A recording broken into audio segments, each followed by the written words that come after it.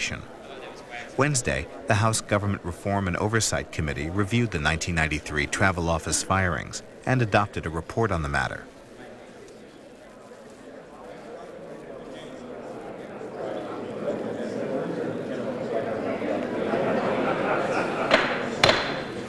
Committee on Government Reform and Oversight will come to order.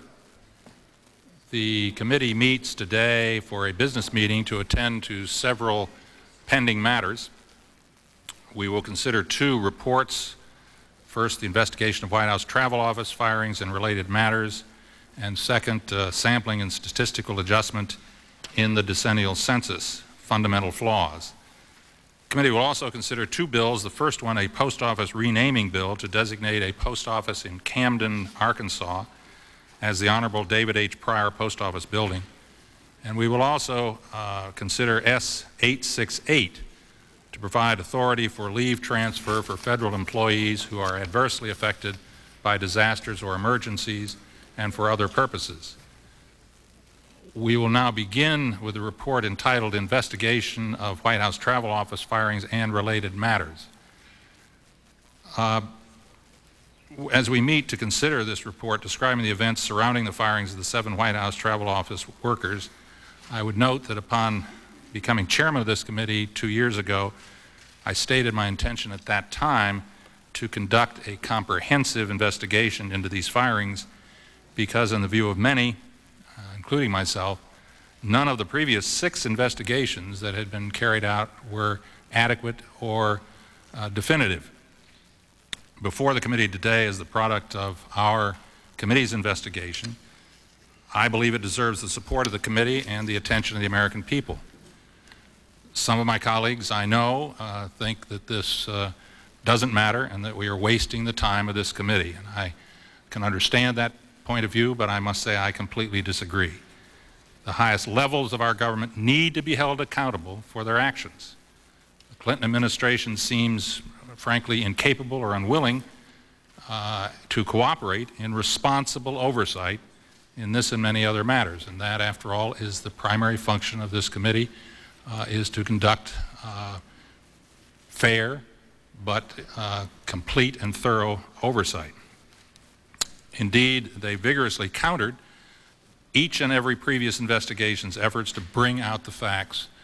Um, all of those investigations did not have access to many of the documents or indeed many of the witnesses which this uh, committee has had an opportunity to either depose and documents that we have seen. Uh, they withheld documents, scripted congressional hearings, interjected themselves into the committee's deposition process. But in the end, the Clinton administration could not really outspin the facts or the truth. If the committee had not pursued this matter with equal vigor, the American people never would have seen David Watkins' so-called soul cleansing memo where he spells out what happened and who directed the action. The American people never would have seen Vince Foster's travel office notebook, which documents his concern and growing despair over the ramifications of the firings and perhaps most importantly, Craig Livingstone and company might still be perusing the confidential FBI files of hundreds of former Reagan and Bush administration officials. In choosing to, I can only characterize it as obstruct rather than cooperate, to contain rather than explain, and spin rather than govern, the travel office is a powerful statement on the Clinton White House's failed record in living up to their own ethical promises and obligations to the people who elected them. This report lays out the story of an abuse of power at the highest levels of the White House, the likes of which have not been fully revealed to public to date. The report demonstrates the failures of this White House to live up to the ethical standards they themselves promised to maintain. This is not just the story of the seven travel office workers who were summarily fired on May 19, 1993, ordered to vacate their offices within two hours and carted off uh, that very day in a van. It is the story of how the power of the presidency was brought down on individuals who were put under the specter of a criminal investigation and had powerful federal agencies, including the FBI and the IRS, unleashed on them in an ongoing campaign to discredit them. It is also a story of systematic and deliberate cover-ups of embarrassing or potentially incriminating activities. Billy Dale bore, uh, as, the, as the head of the travel office, bore the brunt of the federal onslaught before the, the uh, president, the first lady, and their friends from Arkansas and Hollywood came to Washington.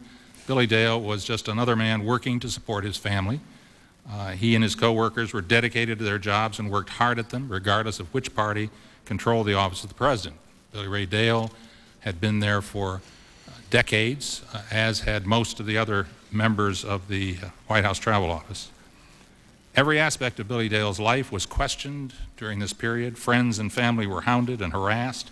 Every past deed scrutinized, all with the full intention of prosecuting Mr. Dale in an effort to justify the unjustifiable. Now, regrettably, Mr. Dale is uh, a continuing symbol of what can happen to people who get in the way of members of this administration, including the First Family, who abused their power and took advantage of their access. Why would someone do this? To generate positive news stories about the President cleaning up the White House, that was one suggested reason. To make government work better as part of the National Performance Review, another uh, reason suggested by this administration. To streamline the travel office operations, uh, uh, another scenario. While the White House has asked uh, the American public to believe these or accept these reasons or excuses, they are in fact part of a really elaborate cover scheme designed to submerge the raw ambition and frankly appalling arrogance exhibited by the participants in this matter. In fact, one of the key moments of this investigation came when the White House, in a miraculous discovery last January, belatedly produced the uh, in his own words, uh, Mr. Watkins defined it as a soul cleansing memo.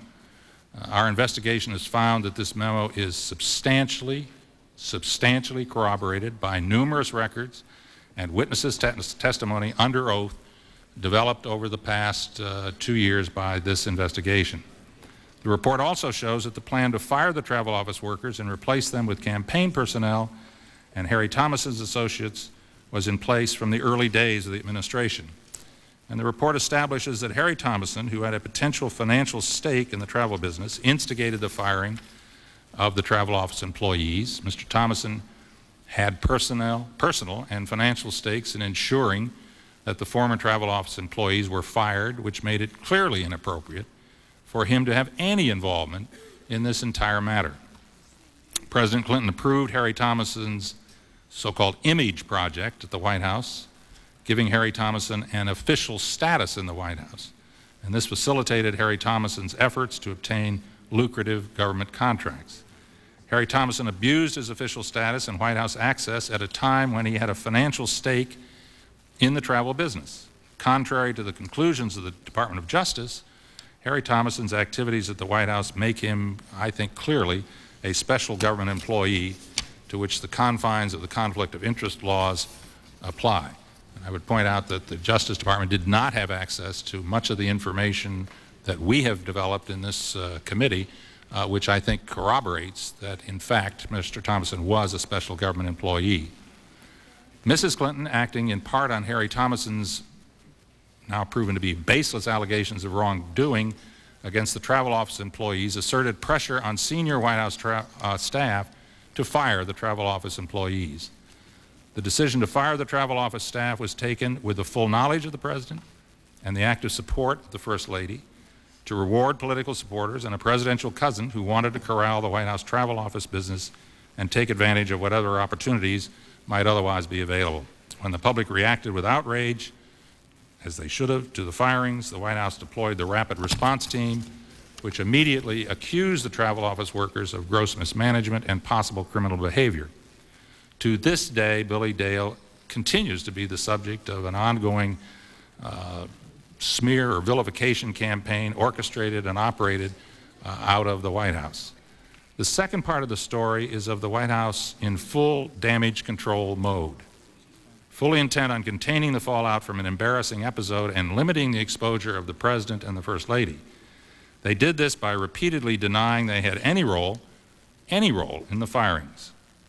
They suggest that if you deny it enough times, people might ultimately begin to believe it, even in the face of persuasive documentary and testimonial evidence. White House officials covered up the real reasons for the firings of the White House Travel Office employees. The firings were not, I stress, were not based on the Peat Marwick review, which was instigated long after the decision had been made to remove the travel office employees. Uh, as I said, but rather was decided before Peat Marwick examiners ever even set foot in the White House. Then the White House mischaracterized the review. It was neither an audit nor was it independent. It was directed by a White House which did not want an audit to be conducted. White House Associate Counsel William Kennedy abused the FBI by repeatedly invoking the, in his words, quote, highest levels of the White House in meetings with the FBI. The FBI erred by allowing the White House to control its investigation. The FBI mishandled the travel office investigation from the beginning by not exercising independence from political appointees at the White House and by not securing a travel office Uh, records, by not securing travel office records in a timely fashion. The Justice Department improperly deferred to the White House during this investigation, during its investigations of the White House Travel Office and Harry Thomason, and ignored the objective behavior exhibited by the counsel's office. In a pattern to be repeated many, many times, the White House engaged in a conspiracy, a sort of culture of silence of the true story behind the firings from the very first day. It did so for damage control purposes. President Clinton established a cover-up situation when he inappropriately placed the person who had approved the firings, Mack McLarty, in charge of the investigation, and McLarty withheld information in the course of the investigation. It is inappropriate for the White House to investigate itself in matters of conflict. The internal White House Management Review, overseen by current White House Chief of Staff Leon Panetta and former Chief of Staff McLarty, was a catalog of, quote, mistakes and deception, close quote, which is a quote from the New York Times. It omitted incriminating information about the President, Mrs. Clinton, and Harry Thomason. The White House chose to cover up incriminating information for political expediency. The White House Management Review reprimanded people who were only following the orders of higher-ups who were the real instigators of the firings. The White House's obstruction of the review of Vince Foster's documents was due in part to concerns about Travelgate documents in Mr. Foster's custody. Mrs. Clinton instructed White House staff on the handling of Foster documents and the Foster note found on July 26, 1993, and senior White House staff covered up this information and kept it from investigators for many, many months. The report exposes the misconduct of the White House counsel's office in repeatedly trying to throttle this investigation with lawyerly tricks, word games, and invalid and overreaching claims of executive privilege.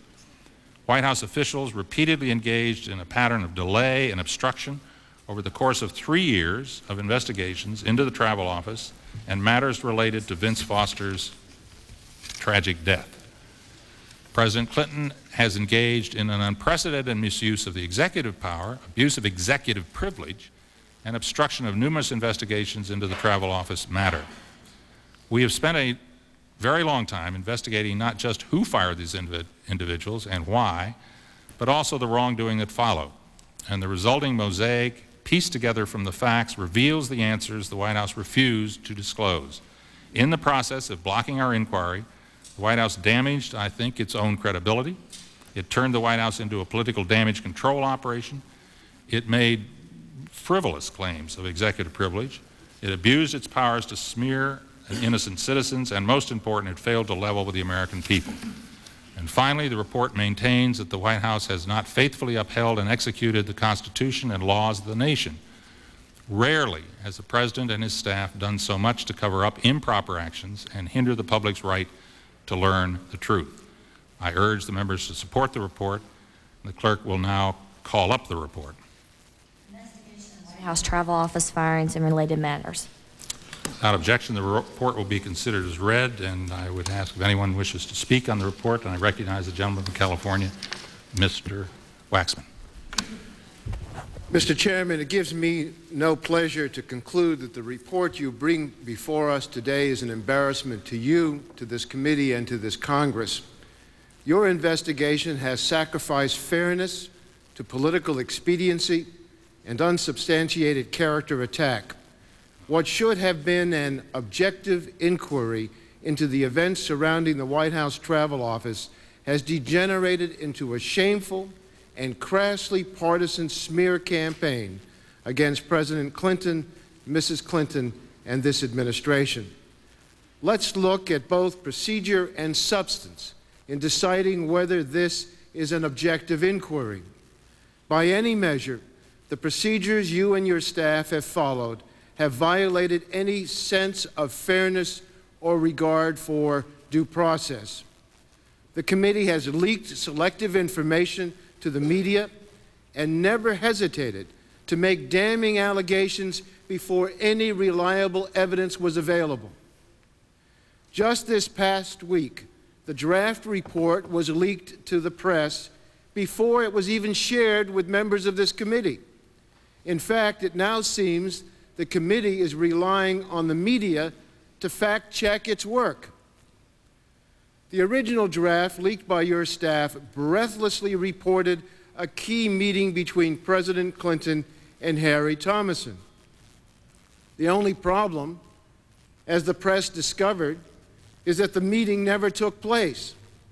But the truth, as is clear in today's report, is not the point.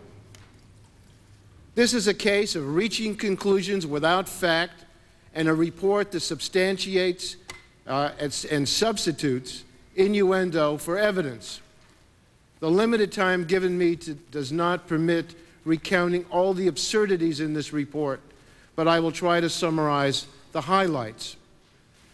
First, the report concludes that the truth about the dismissal of the travel office employees might never be known notwithstanding the fact that the committee has spent millions of taxpayers' dollars, conducted 72 depositions, held 23 informal interviews, reviewed 58,734 documents from the White House, and another 45,000 from other federal agencies.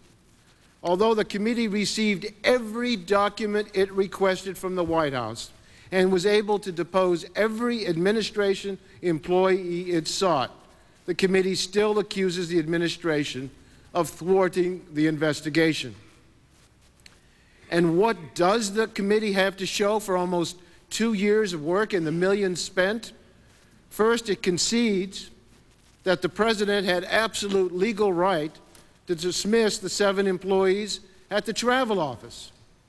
Just as Newt Gingrich had every right legally to dismiss hundreds of employees in the House of Representatives.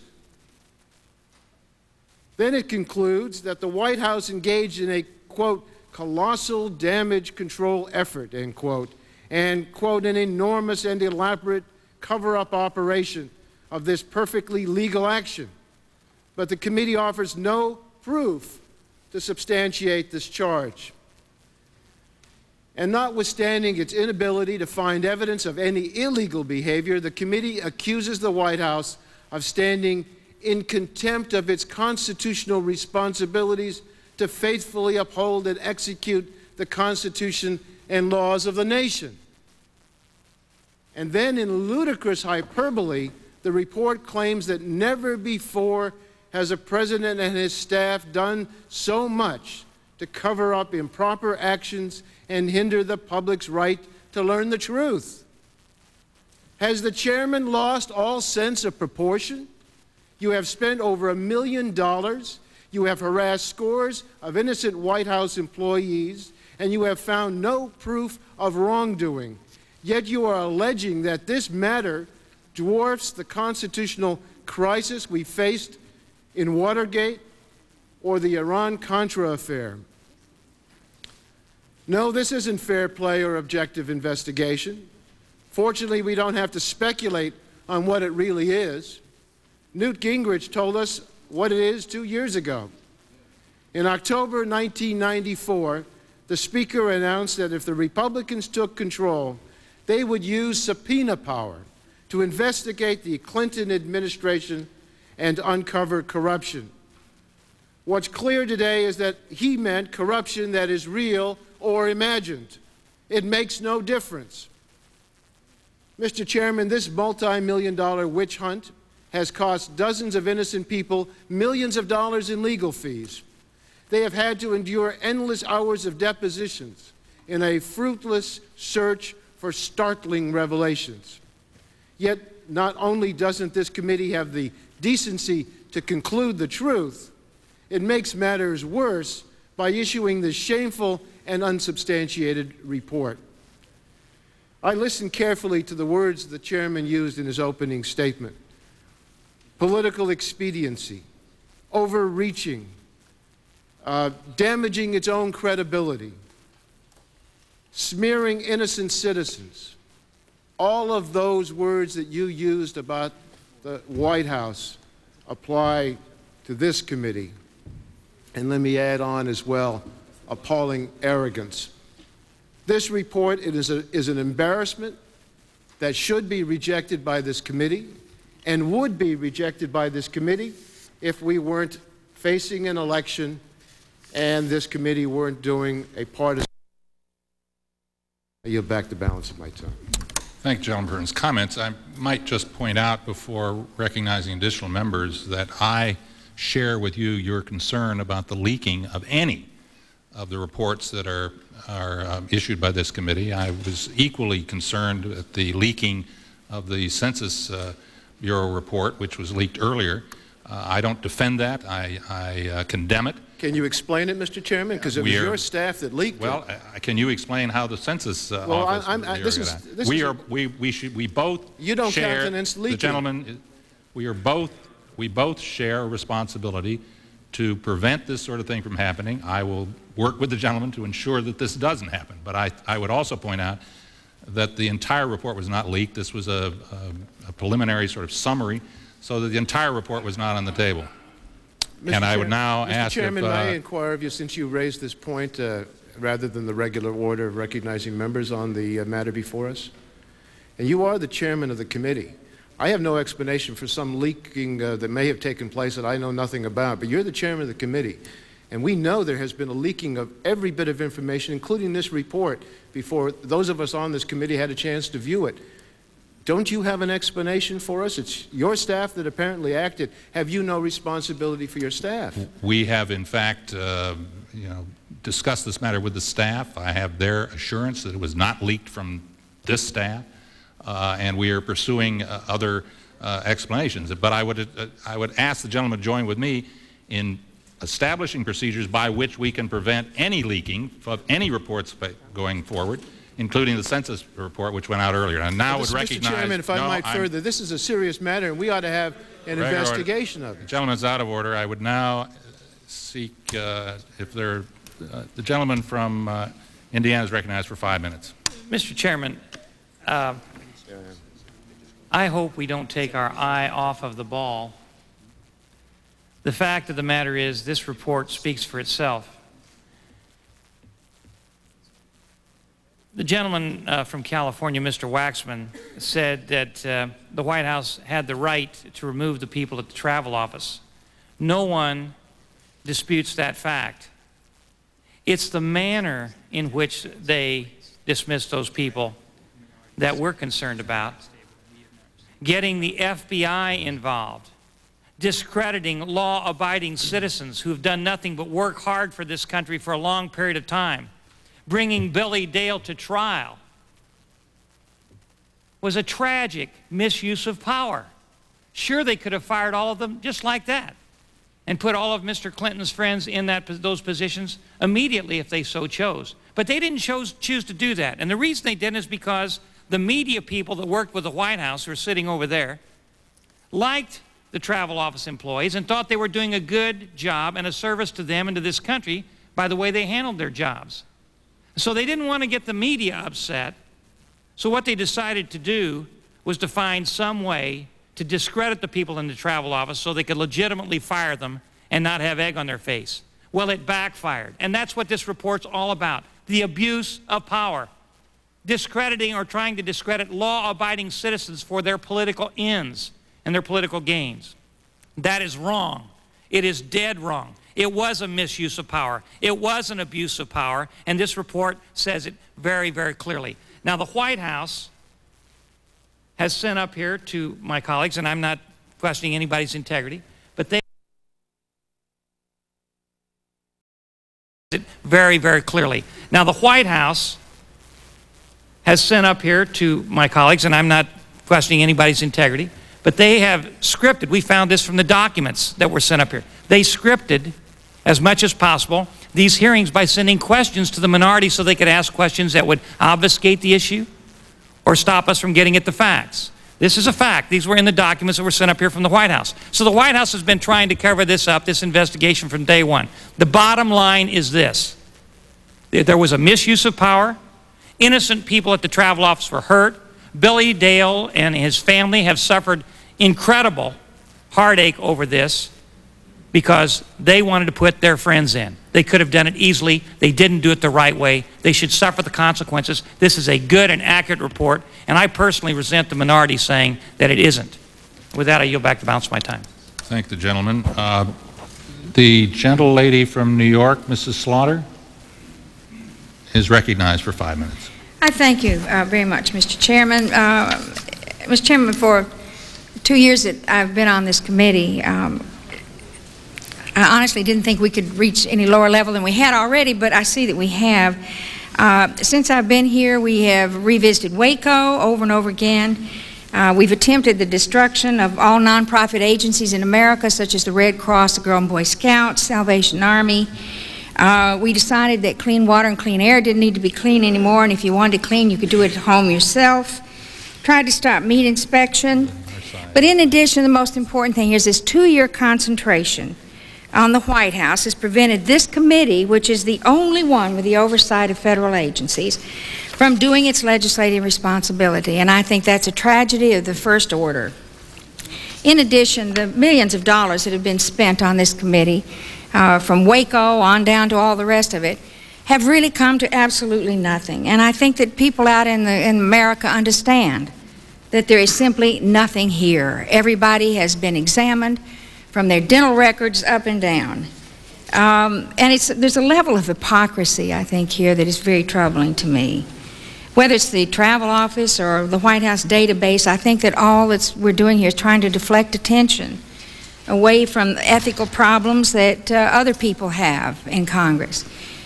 For example, if we want to talk about an abuse of power, sitting on the report on Speaker uh, Gingrich and the Ethics Committee is probably the greatest abuse of power that I've seen in my lifetime. He's been under investigation, as you know, for number of the two years of this term. And after eight months of an outside counsel investigation, we don't know a thing in the world about it. I think that American people really, instead of listening this morning about what happens with White House databases and FBI files and uh, maybe the travel office, would really like to know what the Speaker of the House has done. And, uh, but we are going to make sure that that report's kept secret. We're not talking about that at all here. In fact, there's absolutely no discussion.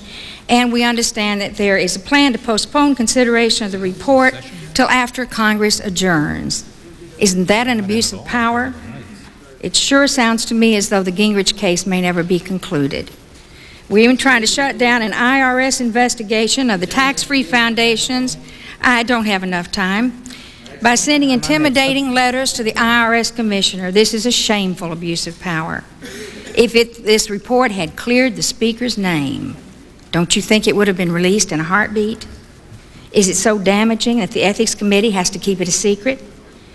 The American taxpayers laid out a half a million dollars for this report, and they have a right to make their own judgment about it. This committee is charged to oversee government operations on behalf of the American people. Sadly, I fear we've turned this hearing room into a parody of this duty.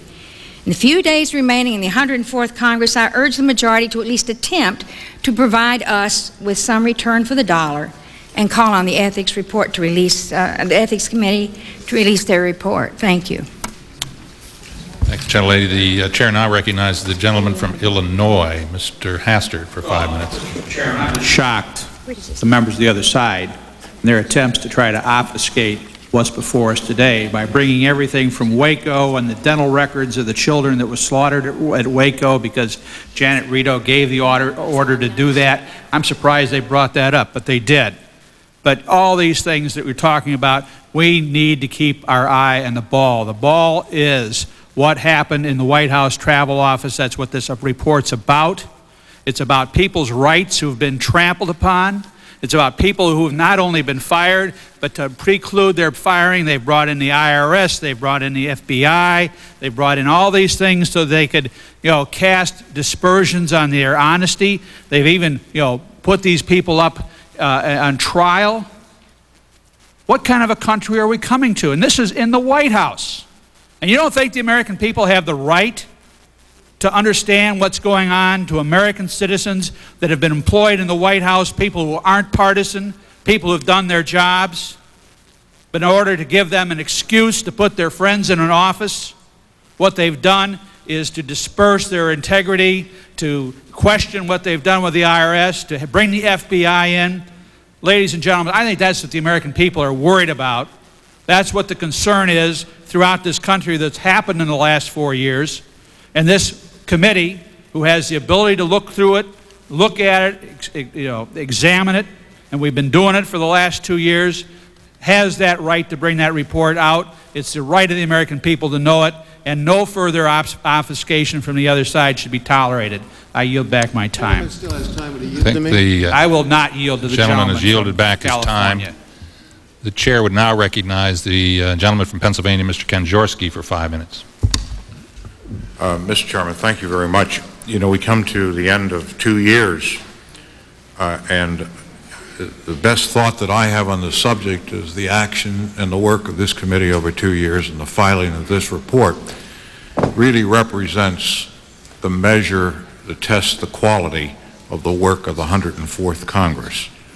And that is that we have had most extreme partisan Congress that wanted to act and change and cause revolution without evidence, without facts, and without logic or analysis, but in blind ideological attempts to attain an end, a political end, rather than a governmental end. I, I would have to say that probably the resentment of government felt by the American people is epitomized in the conclusion we strike today on this committee. It is exactly what they find wrong with the Congress of the United States, and it is reflected in the polls today of why they are going to reject the majority of the 104th Congress for the next Congress. Because the House of Representatives has been brought to embarrassment today. We have a report filed that is full of errors and conclusions unsupported by any evidence, and in a broad sense, at best by innuendo, and worse, that the evidence and the facts that were initially in that report indicate a professional sloppiness of a standard unseen before of a committee of the House of Representatives. How investigators and staff people of the majority could fail to know that the president could not possibly have a meeting in the White House when he happened to be 14,000 miles away in Japan. And all it took to ascertain that fact is a simple examination of the president's travel schedule or his meeting schedule. And when people don't make that simple investigation, so that they could not write it into a report, you have to question what facts or innuendos have they reported here that are totally made up, falsifications, or just poor sloppiness. And I think that's what's evidence here today. I think the most compelling question the American people, they have to ask us, why did you spend all these millions of dollars in 24 months? And why will that become or come to a screeching halt?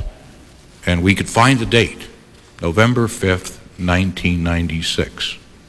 There will be no further need for depositions, investigations, or hearings by this committee because this is not driven by an intention of reform or oversight. It's driven with a political motive to attack the character of the President of the United States, and not only as an elected official, but they've included his wife. I'm proud the, the President doesn't have a dog because, like Fala, he would have been attacked too. Uh, I'm not sure whether we heard anything about Chelsea, but I'm surprised. I'm still examining some of the depositions and reports. I'm sure there must be something in there. That's, uh, yes, we did hear comments about the President's mother. That's how far uh, the majority has gone. But in all this time, of all these two years and all these millions of dollars, we did have an issue. There were seven people that were fired.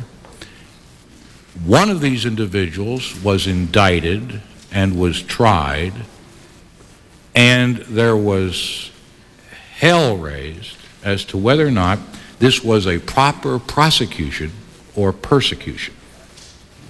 And that trial ended more than 10 months ago, and the professional division of the Department of Justice could have been subpoenaed, could have been examined to find out whether in fact there was an abuse of prosecutorial power and in fact persecution by that department of, uh, of government, and never was one deposition taken, not one subpoena of evidence from the Justice Department that would reflect their mindset or thought process or investigation in the pursuit of that indictment or that prosecution. And never once in over 300 days did the, were those attorneys asked to appear here, either in camera or in open session, to explain why they picked on this dastardly individual. Now, I would have to say there's two questions there. Were we not aware of the fact that there was a prosecution? I'm not sure that I ever sat here one day and didn't hear Billy Ray Dale and didn't pass the Capitol Hill Club where fundraisers for defense were held on a regular basis, where members of the majority side of this committee attended those fundraisers, helped those fundraisers, indicating their partisan nature and what this represented. But more than that, over those 300 days, why didn't somebody say if, if there is persecution in the Department of Justice of the United States, that is an impeachable defense? offense. That should be gone after. That is important, not only to Billy Ray Dale, not only to members of the majority side of the minority side of this committee, but to every American. If there was, in fact, that's true oversight, that's true reform. Why weren't those individuals ever deposed or called before this committee to explain their actions? No, they never were. Finally, I would have to say that I'm glad to see that we're approaching a sine die resolution of the 104th Congress. It's probably a Congress that we shouldn't adjourn, adjourn by that resolution, but like horses, we should take it out and shoot it. Gentleman's time has expired. And the chair now recognizes the gentlelady from Maryland, Ms. Morella, for five minutes. I think I'd like to focus on some of the facts of this report. First of all, I'd like to commend Chairman Clinger for his thorough and fair investigation of the injustice done to seven federal civil servants. Let's not forget that. The effects that the firings have had on their lives and the lives of their families is really inexcusable. All White House employees, whether they're part of the civil service or political appointees, do serve at the pleasure of the President. The President can restructure the White House according to perceived needs or the plans of the administration. Nobody questions that. Indeed, Mr. Dale indicated that he and his colleagues anticipated that there would be changes in the travel office. But to fire seven loyal civil servants under the pretenses of criminal conduct without real evidence before a report was even complete is absolutely unbelievable and I think frightening. Back in January, Chairman Clinger held a hearing to focus on the impact of these political actions on the lives of those involved, something that politics had seemed to overshadow. The travel office staff members were career government employees with between 9 and 32 years' experience in the travel office, including service to both Democratic and Republican presidents. They shared stories of their inhumane mistreatment. They reported to work one day, were told that they were fired as a result of their poor performance and mismanagement.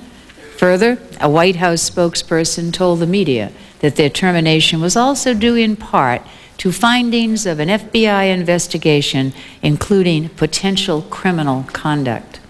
They were told to clear out their belongings, and after up to 32 years of service, were escorted from the White House grounds in a cargo van by the Secret Service. What a reward for their loyal service. They returned home to friends and family who had learned on television that they were fired in conjunction with an FBI investigation.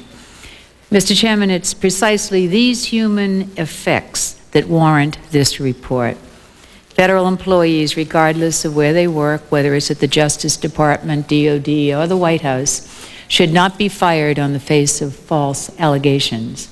What's so painfully apparent in this case is that false charges were brought against dedicated, long term federal employees to justify their firings. The American people demand that the United States maintain the most efficient and effect effective government workforce in the world.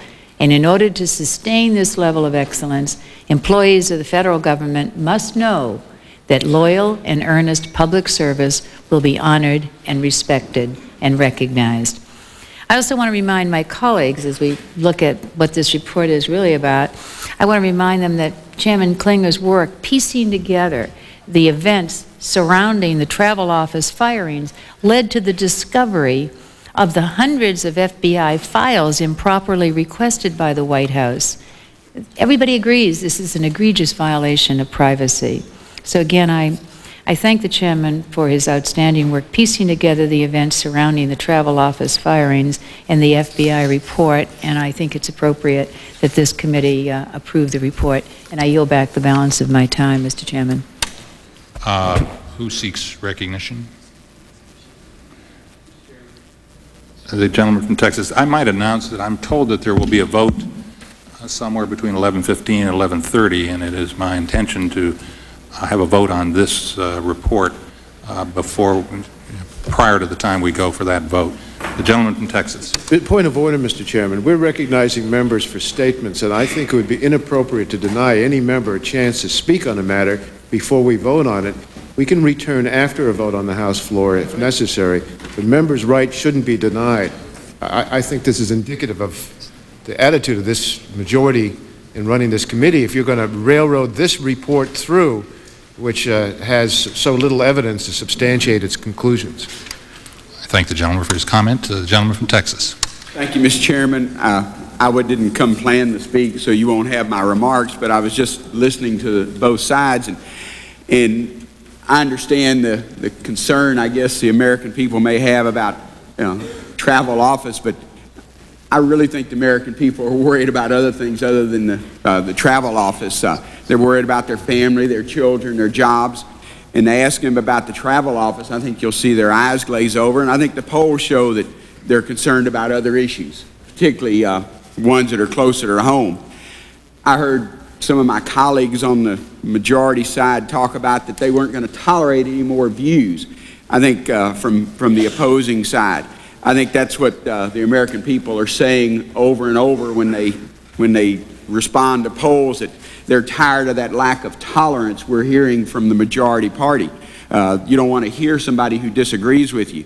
I think the, uh, the lack of civil discussion, particularly on this committee, shows uh, the, the, whole tenor of Congress and that the frustration American people have with, with adults. We can't sit down and say, okay, let's look at travel office instead of making it such a, a, partisan issue. I think, like my colleagues on this side said, I think this, this issue may go away on November 5th, and that's probably for the best, particularly for the taxpayers. This committee has jurisdiction over lots of issues, not only travel office and investigations, we also have jurisdiction over Medicare fraud. And I'm glad as a member of the subcommittee uh, on, on this committee, we've devoted uh, some hearings to the estimated $40 billion loss to the American people and our senior citizens because of Medicare fraud. And yet, what do we hear today? We spent most of our time on a travel office uh, that we spent millions on in full committee time, and yet uh, pennies on rooting out Medicare fraud. I think if we looked at what the American people really wanted, they would rather spend millions on rooting out the, med- the billions in Medicare fraud than whatever happened in the travel office. I guess it's the frustration uh, that sometimes on both sides of the aisle, that we hear and when we see this report today. If there was wrongdoing, that's fine. Again, uh, let's deal with it. But also, I think our priorities are wrong on this committee with what we have seen not only on this report but previous reports. We spent almost 18 months now looking at a few scandals, and yet we have a $40 billion fraud, and we've devoted some time on the subcommittee on it. I think the American people are going to make that decision on November 5th when this report will be uh, dismissed. Will the gentleman yield if he's completed, because you still I'd like time? to uh, yield, but balance my time, my colleague from California. I, I thank you for yielding. I- I wanted to ask Mr. Hastert a question. He doesn't appear to be here. Uh, maybe Mr. Burton or Mrs. Morella can answer the question. What evidence is there for the conclusions of this report? You're going to be voting on this report. You've told us the report is, is a, a, a valid one. What evidence is there to support these conclusions? Mr. Burton? Read the report. Well, I thank the gentleman for asking that question.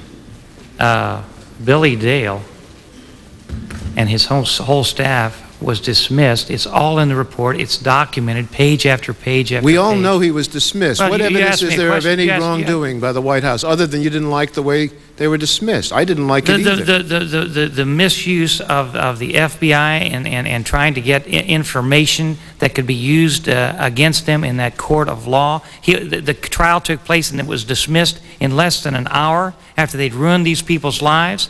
If I could I mean- reclaim my time, you know, I, I um, don't want to approve everything the White House did, but it seems to me to say that there was a misuse of power because uh, of the firing of people or, or if Well, there was a prosecution of a man. You know, uh, O.J. Simpson was acquitted. That meant that wasn't enough proof that he had done anything Would the wrong. gentleman yield? Now, uh, I thought Mr. Kanjorski made an excellent point. Would the Why- gentleman yield? Why did, I will in a minute. Why didn't we ever see whether there was a misuse of prosecutor, prosecutorial authority to uh, initiate the actions against him? That wasn't the focus. We had 72 depositions of a lot of people spinning around. Most of it never even got out here in hearings.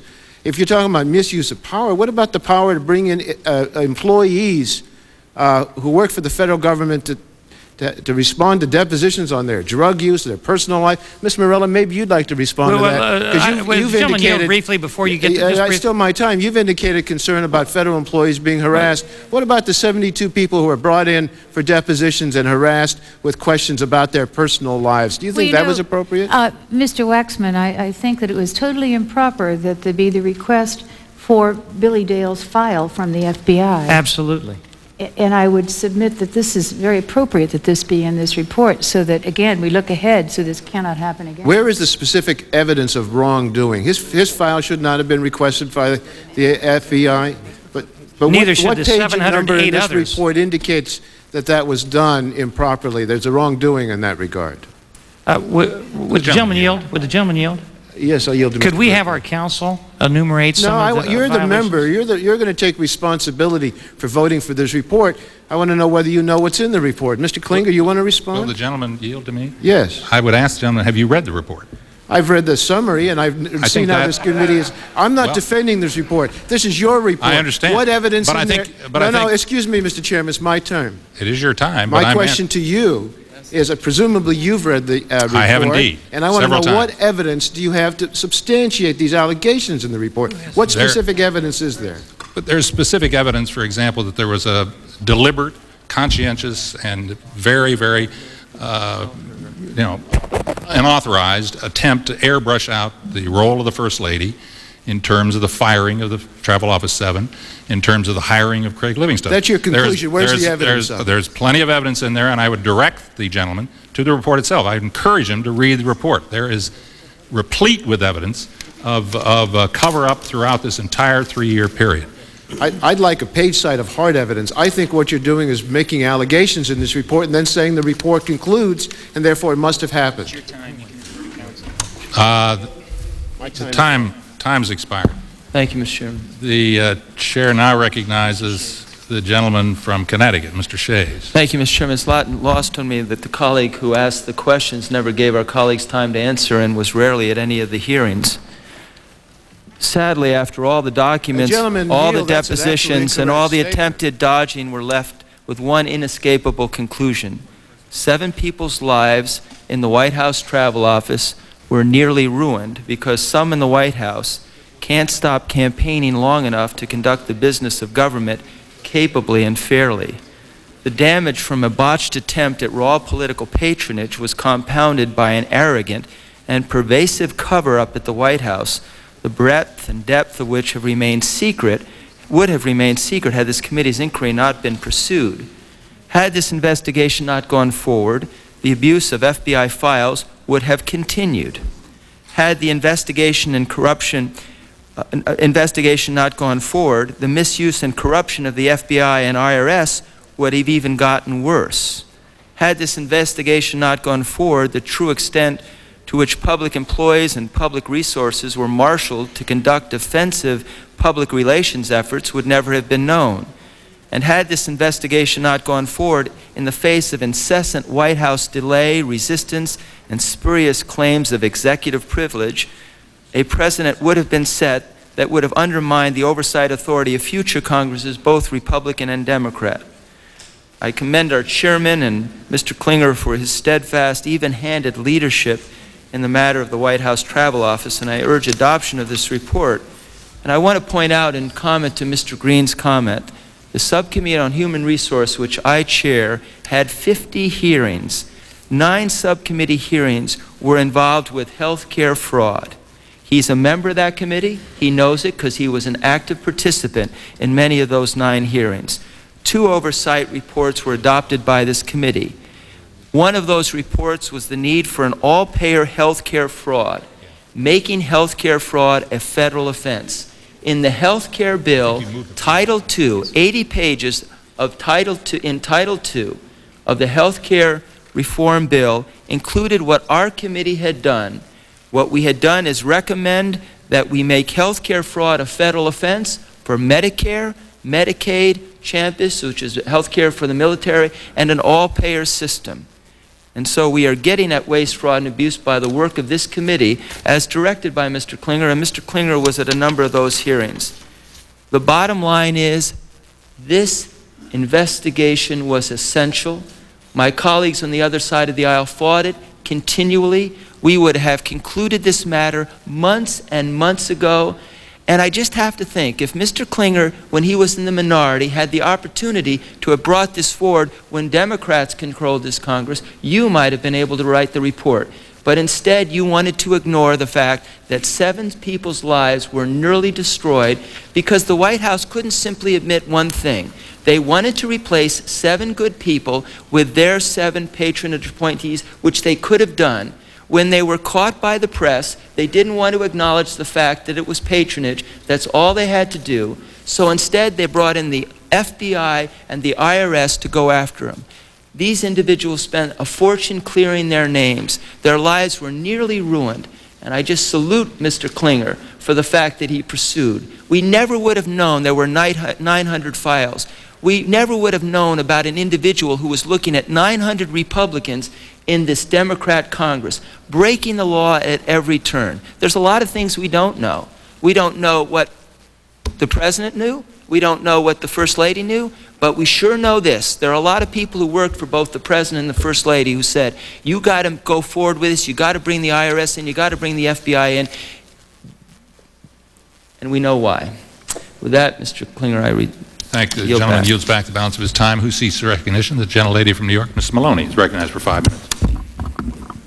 Thank, you, Mr. Chairman. Uh, as we draw closer and closer to the election, the uh, rhetoric and attacks in this committee and on the floor are becoming more and more partisan, more attacking, and I might add uh, more unbelievable. This uh, important committee, and uh, Mr. Chairman, may I take this opportunity to congratulate you on your, on your uh, painting there that hangs in this important committee room that is supposed to have oversight and, and uh, seriously look at uh, ways to make government work better for the citizens taxpayer. But how have we spent our time in this committee? And I'd just like to repeat that we've had three days of hearings on the travel office investigation, four days on the FBI files, eight days on Ruby Ridge, 10 days on Waco, and then in banking, 26 days on Whitewater. But during this whole period that we focused on the travel office, we never focused on the real purpose of this committee, and I return to the title, Government Reform and Oversight, of how to make the office run better. And I'd like to note that uh, we never had a hearing on H.R. 2888, which is a piece of legislation which would privatize the travel office. If you're so concerned about how the, the travel office is being run and operated, why don't you privatize it? Every other day I go to the floor of the House and I hear a speech about how we should privatize government. You closed down the government twice for 28 days. Yet here I have a bill that would close down the travel office. You wouldn't have to worry about it anymore. You wouldn't have to have another hearing on it. You could just privatize it. And I might say that it, it followed the recommendations of a GAO report uh, that noted that in the office there, there was a financial mismanagement, there was no formal uh, procedure for procurement, poor accounting systems, ineffective cash management controls, and I, I just uh, respectfully submit that one solution, if you were serious about making government run better, instead of attacking a sitting president, then you would have looked seriously at ways to manage the office in a more professional manner. But I then uh, submit to the record my own personal beliefs that this is a political witch hunt. It is a uh, politically motivated uh, attack. And uh, I would like to say that I do agree with one of the recommendations in the report, and I uh, refer to the recommendation which um, called for a chief financial officer in the executive office of the president to review the, um, the finances of the office. And I really truly believe that if we had a chief financial officer in the White House, then uh, we would not have had this problem. As Peat uh, Marwick and their auditors reported, they found in the travel office, and I quote, financial mismanagement of the travel office. And if we'd had a financial officer overseeing it, possibly we would not have had uh, this mismanagement and this entire incident would not have been there for you to uh, use in a partisan way. And I, I, feel that this report is a, a uh, one of a continuing uh, commentary uh, on the Republican agenda and uh, Republican attacks yield. on, um, on, on I would, I would be delighted to yield Oh, to I just wondered uh, if, in Flora. fact, you'll be supporting me then this week. I think we're going to have, if Mr. Horn's successful, my bill up, uh, the White House Accountability uh, Act, which has a chief financial officer, and that that legislation should be for the, before the House, and you'll be speaking and supporting that, I understand. I will uh, be speaking on it, uh, but uh, there are other items in that bill. Uh, We are not discussing that bill. We've had two hearings on it, and I have made my position uh, uh, well-known on the record. But I do support a chief financial officer. Thank, thank you. Then the lady yield, since she still has more time available. I'm- I most certainly will. Um, This report condemns the uh, IRS, and I've seen no evidence of any problem or wrongdoing by the IRS. In fact, the Inspector General of the Treasury Department conducted an exhaustive review of IRS and completely exonerated it. Uh, And um, uh, if there was any problem with the IRS, I- we didn't hold any hearings on it. Mr. Chairman, what evidence is there that the IRS did anything wrong? Was this based on some press report, or is this all bootstrapping like the rest of the Gentleman yield, I would ask Yes. him to uh, cite where in the report we condemn the IRS. I mean, there is Well, no... Mr. Shays indicated that, that the IRS... Well, if you can cite me to the page where, in fact, that is the case, I'd be happy to respond. But my recollection, having read the report now three times, is that there's no condemnation of the IRS in this report. I'm pleased to hear that Mr. Shay's information was incorrect because he indicated that the IRS had been involved in wrongdoing. But I would indicate on page 10 there's a statement that says, unfortunately, Mr. Dale's speedy acquittal did not put an end to his three-year ordeal. The IRS pursued Dale, threatening income tax audits. The IRS also was busy in Smyrna, Tennessee, auditing the company that did business with Mr. Dale at the travel, travel office, Ultra Air. That doesn't sound like a very favorable comment about the IRS, and I'd like to know what evidence there was for that. Why didn't we have hearings or any... merely quoted the fact what the IRS did. It was a factual statement of what the IRS did. It doesn't necessarily condemn them for having done that, but it did indicate that the uh, the pursuit of Mr. Dale persisted after, uh, long after he had been in fact uh, removed from office. Members on the Republican side have said the IRS was part of a political effort to get Mr. Dale. I see no evidence of that. If they if they looked into his his uh, actions, uh, that that uh, doesn't it isn't pr- improper. And the Inspector General of the Treasury has indicated that nothing was done time has expired. I wanted to thank the uh, gentlelady from New York for her modified support for the report. We're grateful for that, and I would note that uh, we have now had equal debate on both sides of the aisle for this uh, report, and I would now recognize the gentleman from Indiana for a motion.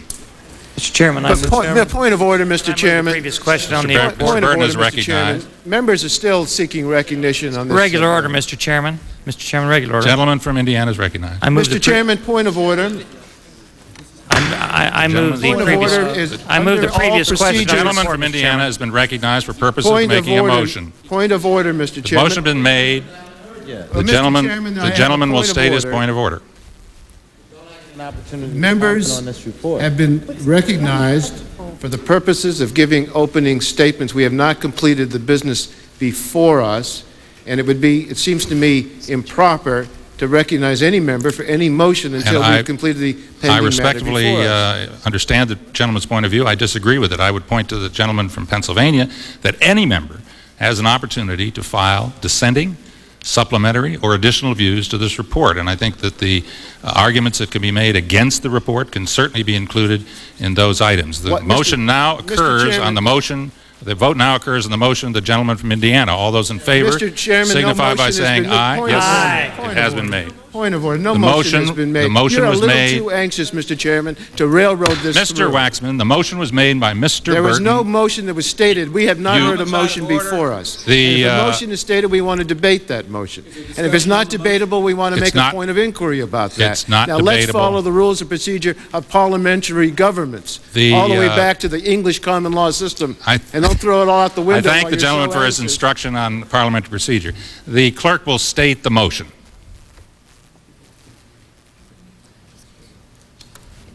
To move the previous question. The motion has been made to move the previous question. It is not debatable. The motion now occurs on the motion to move the previous question. Mr. Chairman. All those in Mr. favor Chairman, signify I by saying aye. Aye. All opposed, no. No. In the opinion of the chair, the Request a roll ayes have it. vote. The ayes do Roll have call it. vote. A roll call vote is requested. The clerk will call the roll. Mr. Clinger? Aye. Mr. Clinger votes aye. Mr. Gilman? Aye. Mr. Gilman votes aye. Mr. Burton? Aye. Mr. Burton votes aye. Mr. Hastert?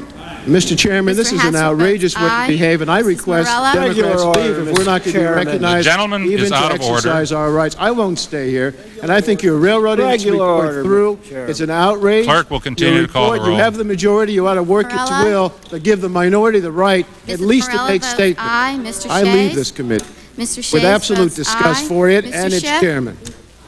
Mr. Schiff votes aye. Ms. Ros-Lehtinen? Mr. Zeliff? Mr. Zeliff votes aye. Mr. McHugh? Aye. Mr. McHugh votes aye. Mr. Horn? Aye. Mr. Horn votes aye. Mr. Mica?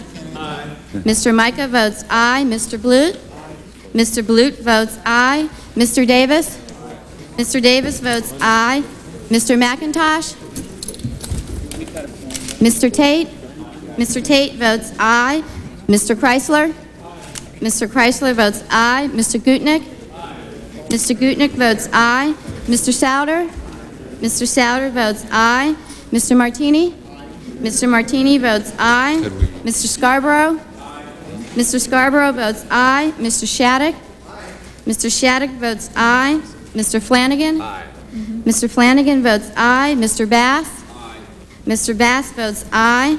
Mr. LaTourette? Mr. LaTourette votes aye. Mr. Sanford? Mr. Sanford votes aye. Mr. Ehrlich? Mr. Klug, Mrs. Collins of Illinois, Mr. Waxman, Mr. Lantos, Mr. Wise, Mr. Owens, Mr. Towns, Mr. Spratt, Ms. Slaughter, Mr. Kanjorski, Mr. Kanjorski votes present. Mr. Condit, Mr. Peterson, Mr. Sanders, Mrs. Thurman, Mrs. Maloney, Mr. Barrett, Ms. Collins of Michigan, Ms. Norton, Mr. Moran, Mr. Green, Mrs. Meek, Mr. Fattah, Mr. Brewster, Mr. Holden, Mr. Cummings, Ms. Ros-Lehtinen, Mr. McIntosh, Mr. Ehrlich, Mr. Klug, Ms. Collins of Illinois, Mr. Waxman, Mr. Lantos, Mr. Wise, Mr. Owens, Mr. Towns, Mr. Spratt, Ms. Slaughter, Mr. Condit, Mr. Peterson, Mr. Sanders, Mrs. Thurman, Mrs. Maloney, Mr. Barrett, Ms. Collins of Michigan, Ms. Norton, Mr. Moran, Mr. Green, Mrs. Meek, Mr. Fattah, Mr. Brewster, Mr. Holden, Mr. Cummings. Mr. Chairman. Mr. Chairman, point of order. Gentleman will state it. Mr. Chairman, I suggest the absence of a quorum. Cummings and Fattah in the hallway right here. Um, Waxman, Cummings, Vote, uh, the the vote is occurring on the uh, report. And I suggest that the vote establishes a lack of a quorum, Uh, The vote is out The of order. clerk will call the roll for the quorum.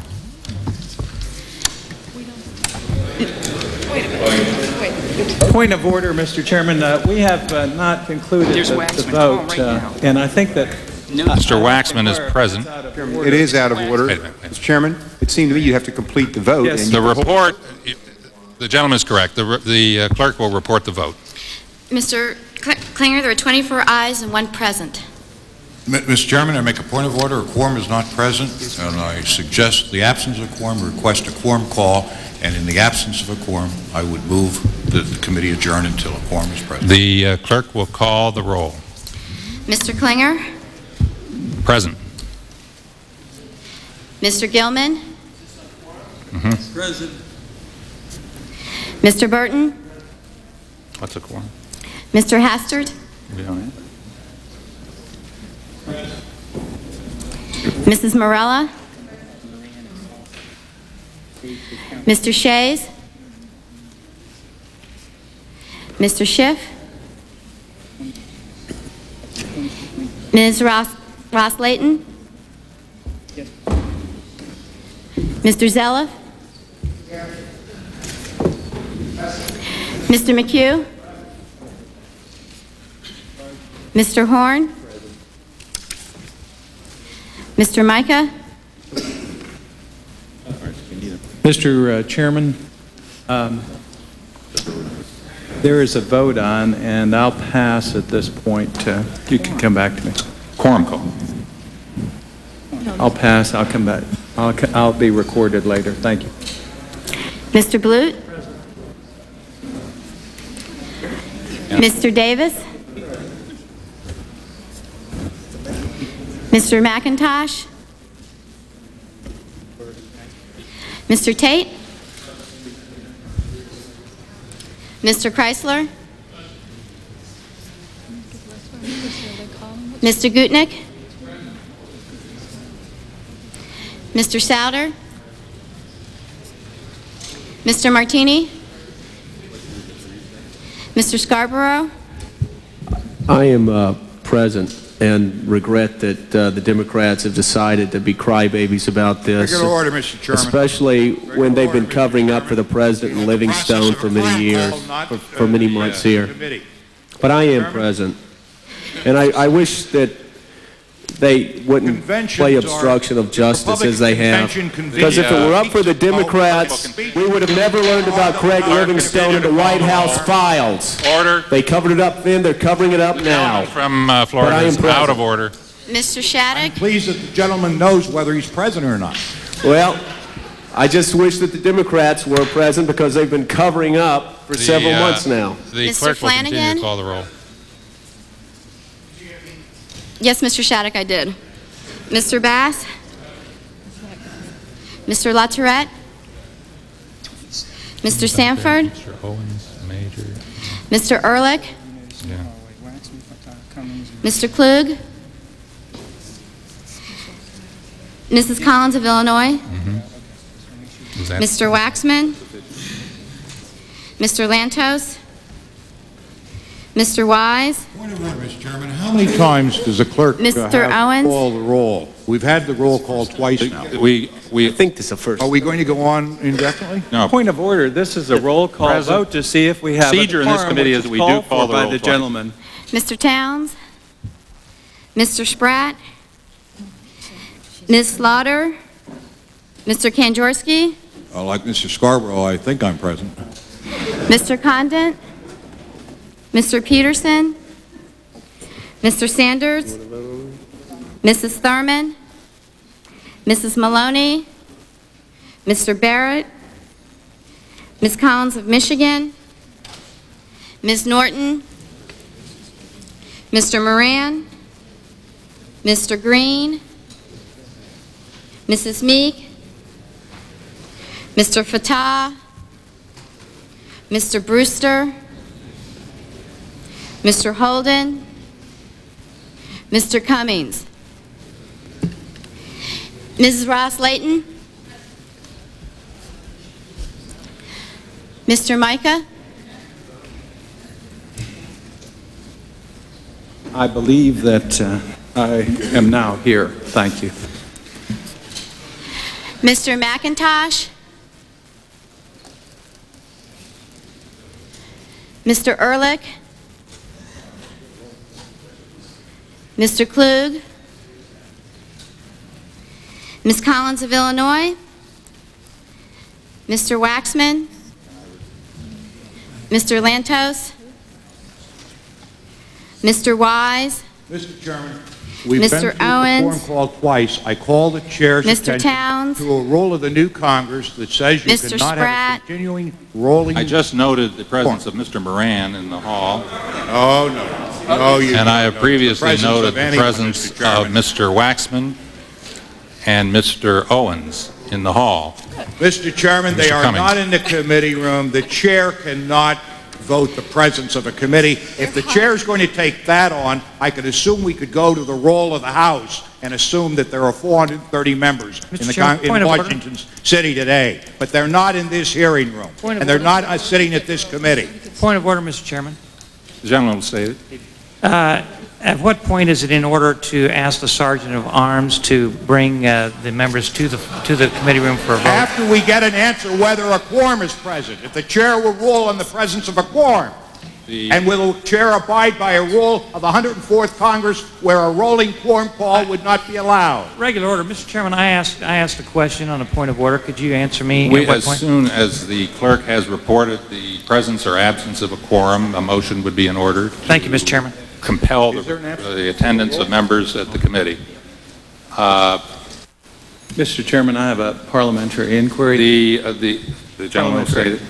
Um, The situation that we're in now, uh, the Democrats have... uh, Mr. Chairman, there's an gentleman is stating outstanding a point of parliamentary order. inquiry. Court of Parliament inquiry. There's an outstanding point of order, a request for a quorum. No other business is before this committee until that issue is resolved, unless the chair is rewriting the rules of the House and the rules of this committee. Robert's Rules of Order and every uh, parliamentary procedure of order says when there's a test of a quorum, no business can be trans- transacted, no speeches made, no other motions taken up until there's an establishment of a presence of a quorum. We've had the roll call three times now. Are we going to sit here until you are able to send out your whips or sergeant of arms to establish a quorum, or are we going to proceed by regular order and determine whether or not there's a quorum present as called by the clerk and have that ruling made before any other motions is taken up before this committee? Or are we suspending the rules of parliamentary procedure? Mr. Chairman, I had a point of parliamentary inquiry re- relating to the... I have a point of order, and I demand a ruling on my point of order, Mr. Chairman. Well, the, uh, Mr. Chairman, I have a point of order. Mr. We will- Chairman, we will- there's only one I'm- point of order It is before this pertinent to committee. This vote, Uh, Mr. Given that we have Mr. the- the Chairman. con- a conflicting view of parliamentary procedure here, uh, the chair will consult with counsel briefly uh, to determine uh, the ruling in this event, and we- uh, we'll be right back with you. There's McIntyre. This one didn't count, is that what's going on?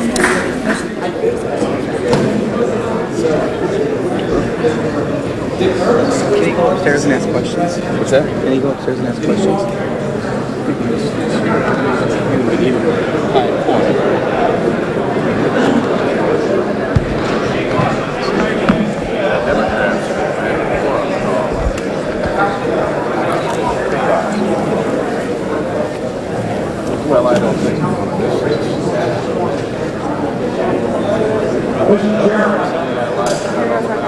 Mr. Chairman,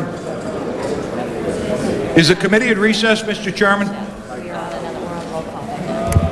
I am discussing the point of order with Mr. counsel. Chairman, this isn't a constitutional question of high magnitude. It's a simple application of the rules of the House in this committee. M- Mr. Chairman, we see All Mr. right. McIntosh is I'm coming. Would you like to delay for several more members to appear while your whips are out working for a quorum, or are we going to proceed by the rules of the House?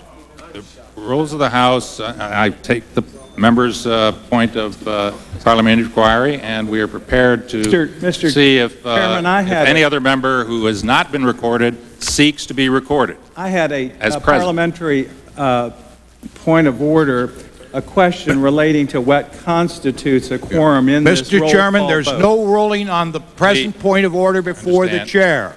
I Does any member, the chair does any make a member, ruling. does any member seek to be recorded as present? The gentleman from Indiana. Mr. McIntosh, you're not recorded. Gentleman is recorded as present. Uh, The clerk will report uh, whether the presence or absence of a quorum. Mr. Chairman, there are 27 present. That being a quorum, the vote now occurs on the motion to approve the report. All those in favor signify by saying aye. Opposed, no. And the opinion of the chair, the ayes have it, the ayes do have it, and the uh, uh, report is approved. Mr. Chairman, an inquiry, is that a previous question on the report that was called? The report was approved by voice vote. Okay, it is fully approved? Mr. Chairman, I, I then make an inqu- a parliamentary inquiry to the chair. Am I understanding that now is that is a closed report and all amendments that were going to be offered to that No, no. report are no longer in order? No amendments to the report. That's right. All your amendments that were going to change that report are no longer in order, and the report as originally offered is now the established No, report of this our committee. Is that correct? Uh, That is correct. Thank you very much, Mr. Chairman.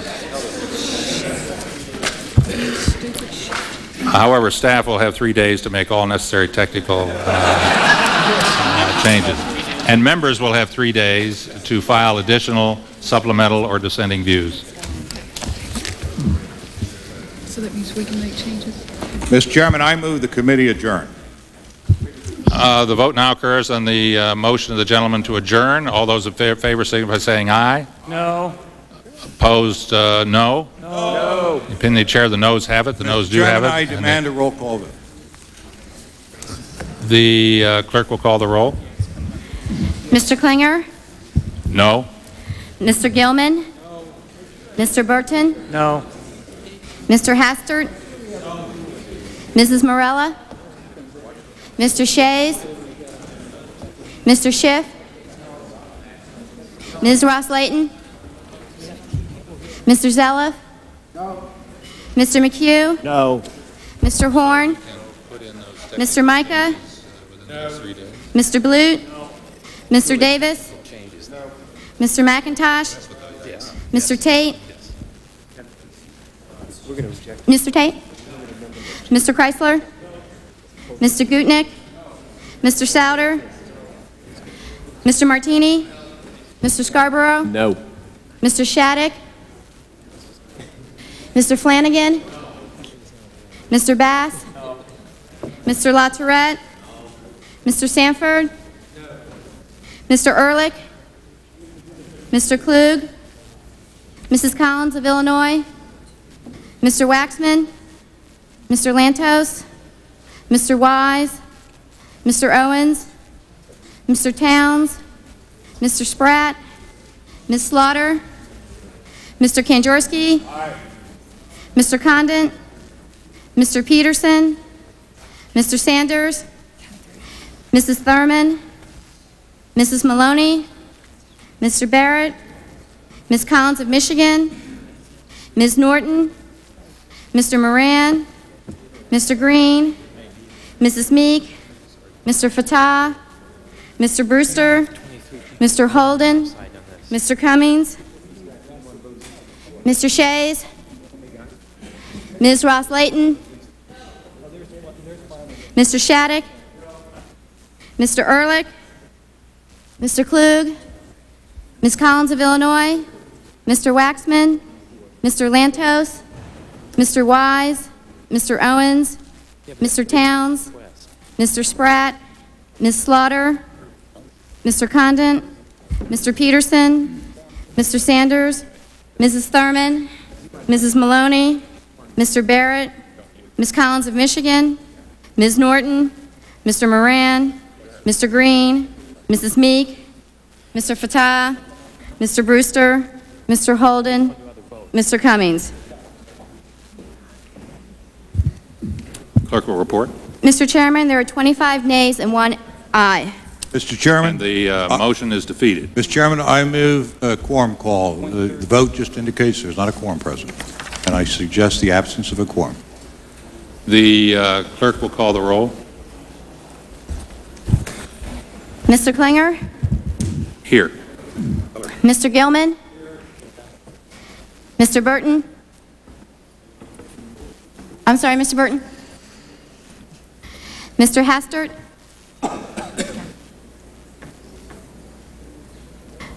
Mr. Hastert, I couldn't hear you. Members here for this forum. Mrs. Morella? I did, but Mr. Shays? Mr. Schiff? Ms. Ros-Lehtinen? Present. Mr. Zella? Present.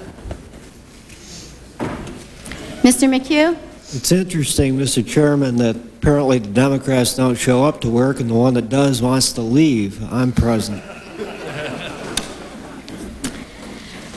Mr. Horn? Mr. Mica? I'm sorry, I wasn't paying attention. What was this vote on? For a quorum call, Mr. Mica. Oh, um, I am uh, then uh, present. Thank you. Mr. Blute? Mr. Davis? Still present. Mr. McIntosh? Mr. Tate? Mr. Chrysler?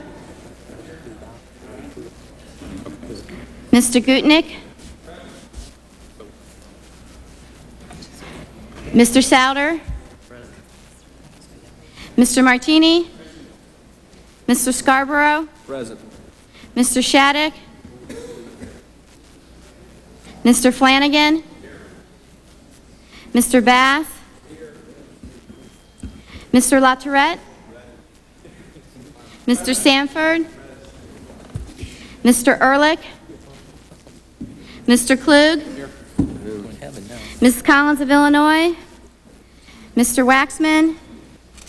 Mr. Lantos, Mr. Wise, Mr. Owens, Mr. Towns, Mr. Spratt, Ms. Slaughter, Mr. Kanjorski, Mr. Condit, Mr. Peterson, Mr. Sanders, Ms. Thurman, Mrs. Maloney, Mr. Barrett, Ms. Collins of Michigan, Ms. Norton, Mr. Moran, Mr. Green, Mrs. Meek, Mr. Fattah, Mr. Brewster, Mr. Holden, Mr. Cummings,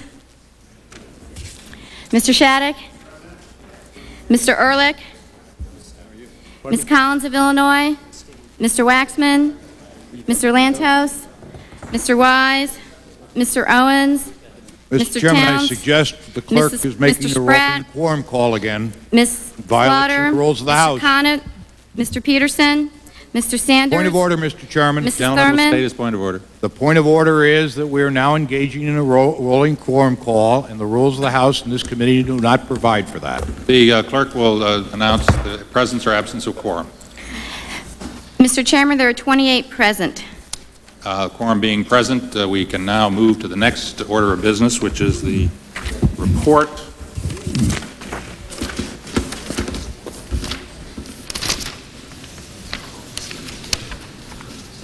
dealing, the next report to be considered is sampling and statistical adjustment in the decennial census fundamental flaws. Uh, The gentleman from Indiana? Would it be in order to move the adoption of the report? Mr. Chairman? The, the report has not been, at this point, brought up. The the clerk, the gentleman will state his point of order. I request that the chair read the report to the committee. Motion is being read. Motion be considered. The motion, the the gentleman will state his point of order. Request chair read the report to the committee. Motion. Mr. Chairman, I move we dispense with the reading of the report. The uh, motion is made to dispense with the reading of the report. Object, All in uh, favor point of signify order, by Mr. saying Chairman. aye. Aye. Opposed? Point of The, uh, parliamentary inquiry. It is my understanding you cannot move to suspend the reading of a report to this committee. I'd ask for parliamentary ruling on that. The motion has been made to suspend the reading of the report. The motion was voted on, the, uh, the motion was, uh, was, Mr. was Chairman, approved. point of order. The rules of the House, that, that's why we have a Rules Committee that can waive rules of the House, but the committee cannot waive rules of the House except with unan, of the committee without unanimous consent. And I object. Okay, motion is made, all right, Mr. Mr. Kanjorski has made a motion to read the uh, report? No, no. Regular order is to read the report. Regular order. That is, but you made a motion that you wanted the report to be read. No, no, no. I made, a, I made a motion to follow regular order, and regular order of this committee is to have the report read to the committee. And it would take unanimous consent of this committee to waive that regular order. Um, Mr. Chairman. the- the- It would be heard this, uh, appropriate at this point to have a motion to suspend the reading of the report. Uh, which Mr. was- Chairman, The motion was made by, Parliament, point of Mr. order, Point it of would order. require a request for unanimous consent to waive the rules of this committee out of regular order, the reading of the report. Mr. Chairman, I request uh, opportunity to speak on the point of order. My motion was my motion. your motion was approved. Well, No, it Uh, wasn't. No, it was not passed. approved, Mr. Chairman. The point of order was made before there was a ruling. The chair will rule that a Mr. motion Chairman, would be in before the chairman rules, may I be recognized The on the gentleman's point of recognized. parliamentary procedure? First of all, I want to point out, Mr. Chairman, if you only let members speak, we wouldn't be snarled up on all of these procedural points. All we asked was the right to make our case, and we were silenced in that regard. And all we ask on this next report is to be able to speak on it because many of us have very strong feelings against it. If you allow that, then you may go to a vote and you, undoubtedly you will win. But nevertheless, we are protected under the rules. And the rules say you cannot proceed with a report without reading it unless there's unanimous consent to waive the reading. It can't be done by a motion. The majority can't take away the rights of individual members of the minority. Now, we I think, would not object to the report being considered as read as long as we just have our five minutes each to say what, if, if members want five minutes, what our concerns are about this report and why we don't support it. That's all we ask as elected representatives of the same number of people that you represent. And we want to be able to express the views of our constituents. Don't cut us off. Don't railroad everything through. Don't act in an undemocratic manner and ignore the rules and all the parliamentary procedures. I thank the gentleman for his uh, uh, for his comments, and, uh, And I we're on the census I- report, And I appreciate the, the comments, and I would indicate that it would be the intention of the chair that we have a full and thorough debate on the merits or demerits, as you may view the, the contents of this uh, census report. I couldn't agree with the gentleman more that this needs to be fully aired. Uh, so, uh, but I think it is not going to be productive if uh, the minority insists upon reading the entire report. The report has been available uh, for some time now to members to have uh, reviewed and commented on. I would assure the gentleman that it would not be the chair's intention to summarily uh, cut off people's opportunity to say what they have to say about this report. And if, with, if that, uh, if that, uh, the gentleman will state it. If the point, if the chair is putting a motion to waive the reading of the report, I would ask an amendment to his motion that it be part of that motion that every member be allowed five minutes, and at no point, as occurred in the previous report, could open discussion or debate for the five minutes reserved to every member be cut off. Well, I think, yeah, I think that the point here would be that not every member would be ob- obliged to speak if they have nothing to say about But the Last issue. time, they weren't allowed, Mr. right. Chairman. We Uh, just, we, we can't now have gentlemanly agreement as we usually proceed. Would the gentleman yield? The gentleman from Pennsylvania? The Gentleman yield? Gentleman The gentleman from Pennsylvania? The gentleman yield? Yes. Yes. The question is, were they denied before they walked out of the room or after they walked out? Yes, we were. Absolutely. Will the gentleman yield? Will, it- will the gentleman from Pennsylvania yield? I have further Will The questions. gentleman from Pennsylvania. Uh, The, um, my concern is, is that you attempted to prohibit the consideration of this particular bill by calling for a quorum without members present, and are we going to see continuing disruptive procedures where in effect we from filibuster, Pennsylvania. or, I, I, I want to finish my question, or are you willing also, in your extended request, to then waive your right to do quorum calls and stalling tactics? In other words, if the chairman says that there can be statements, are you going to stage that as a filibuster and then a walkout again? No, we're Democrats, big D, but we're also Democrats, asking. little d. And as long as the majority recognize the democratic processes and the rules of the House and this committee, we are not going to do anything to obstruct. Then But why we're going you- to do everything to protect the rights of the minority to be heard. The We're not going to allow further cutoff, as the chair summarily decided to do on the last proceedings, one of the most important reports to be filed by this committee in the entire 104th Congress.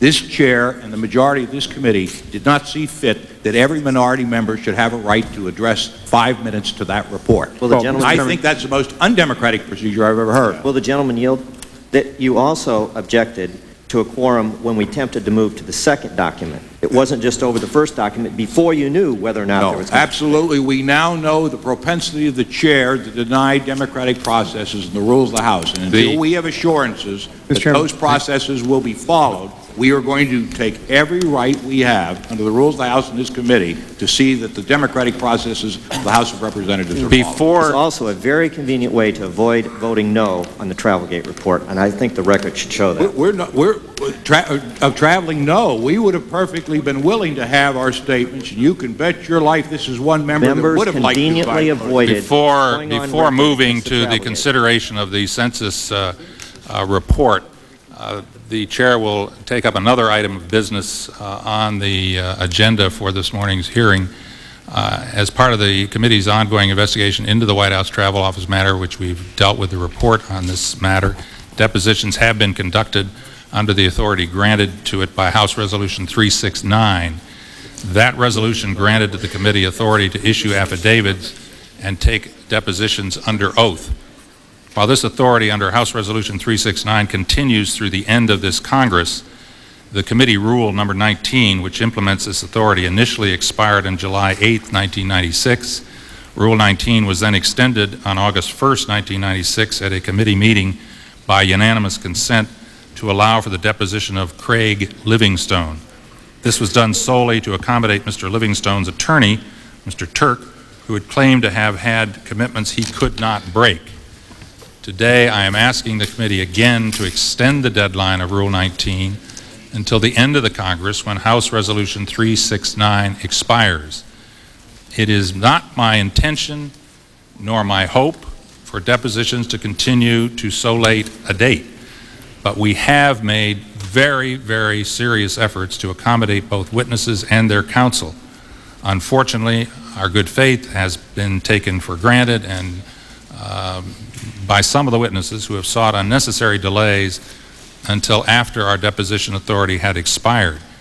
I would now ask the committee for authority to extend Rule 19 until the end of the 104th Congress and that the committee approve a subpoena for one Mr. David Craig Livingstone to be deposed on Friday, September 20th, 1996, or a date thereafter. Uh, the gentleman Now, this reserves is, the this is a object. request before the committee? That Is is this a a unanimous request. consent request? This is a request before the committee, and without objection, although the gentleman is, uh, will state his objection, or reserving his right to object. Yes, Mr. Chairman, I understand uh, that you intend to have further depositions between now and the end of this Congress?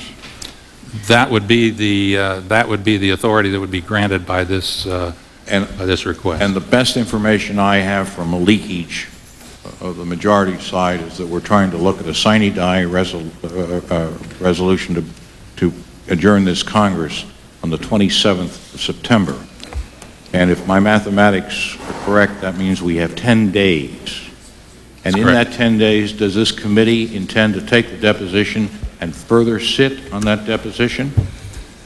The, Or are we going to rely on the release of this information through the way the report we just had before the committee got released, that is leakage or putting it on the internet? Uh, I can assure the gentleman that would not be the intention of this chairman. I've indicated previously that I, uh, I strongly object to the leakage of any information on reports I out of this committee, and I would just state to the gentleman that the purpose of this request is primarily to get information from Mr. Livingstone subsequent to information we've had from other witnesses who have been deposed by this committee that contradict uh, statements uh, or that, that render confusing statements that Mr. Livingstone made previously. Mr. Livingstone had agreed to come before the committee, had said on occasions that uh, we could work it out. We accommodated him, and it was only this past Monday when he, we were advised that contrary to what he had assured us he would do, and that is that he would come in and be deposed, he then did not appear. So the only way that we can ensure that we get the uh, finality to, uh, to the accuracy of his statements is if he would come in and be deposed again. M- Mr. Chairman, uh, further reserving the right to object, I, I understand, if, if- I'm not correct, I I would like it uh, corrected, that Mr. Livingstone has already been deposed some 30 hours. That Has is appeared- indeed- Has appeared under uh, oath before the full committee on at least one occasion or more. That is correct. And had agreed to come in and be deposed yet again. And I further understand that the majority is now preparing its final report for action in the next two or three days on what we call the Filegate matter. That is correct. And therefore, that report would be closed. And any deposition taken of Mr. Livingstone after that time would obviously not be used for the final deliberations or the writing of the report of this committee.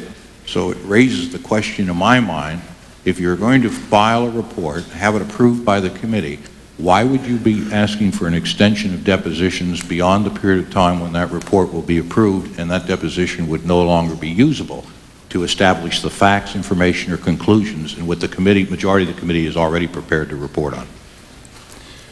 Well, our hope uh, is to uh, establish through Mr. Livingstone's deposition, which we would hope to take this Friday, uh, that we would be able to include, if necessary, any information uh, acquired through that deposition as part of the final report. If that is not possible, I would certainly agree with the gentleman that this could not be made a part of the final report. But our objective is to be able to refer to the information that uh, either clarifies or or disputes uh, previous information we have. If, if further reserving the right to object, you might understand that there are several limited questions that the counsel wants to inquire into, or are we just having a broad retaking of a deposition that could extend for hours? If uh, we want to accommodate the majority to be very careful that the facts and conclusions they arrived at are based on testimony and fact, seeing the mistake that was made in the last report. But we certainly don't want to encourage an open-ended deposition that goes on, on ad infinitum and will be obviously used for purposes of publicity, leakage, and involvement in the presidential campaign. So what I'm inquiring is, are there several questions that the chairman is aware of through counsel to the committee that ha- are to be resolved? And if so, can we contain this right for that purpose and have the understanding that a report will not be filed until that information is acquired? Or if a report is submitted to the committee for review and passage, that that would kill the authority granted to extend to take depositions? The, um, I cannot assure the gentleman that this is going to be a, a severely limited. We've had numbers of documents that have come forward uh, during the month of August, which uh, have raised a number of questions uh, about Mr. Livingstone's previous testimony that we feel we need to explore. So I can't agree to uh, circumscribe or unduly limit uh, the extent of the investigation. My, obj- my hope would be, and my anticipation would be, that this could be done in a one-day uh, proceeding of deposition. But I would not agree to, uh, as I say, circumscribe or unduly limit the ability to look into questions that have been ar- have arisen because of the uh, only recent receipt of documentation that uh, would uh, require us to look into those matters. Mr. Chairman, we want to cooperate with, with the majority and the chairman to get all the pertinent information.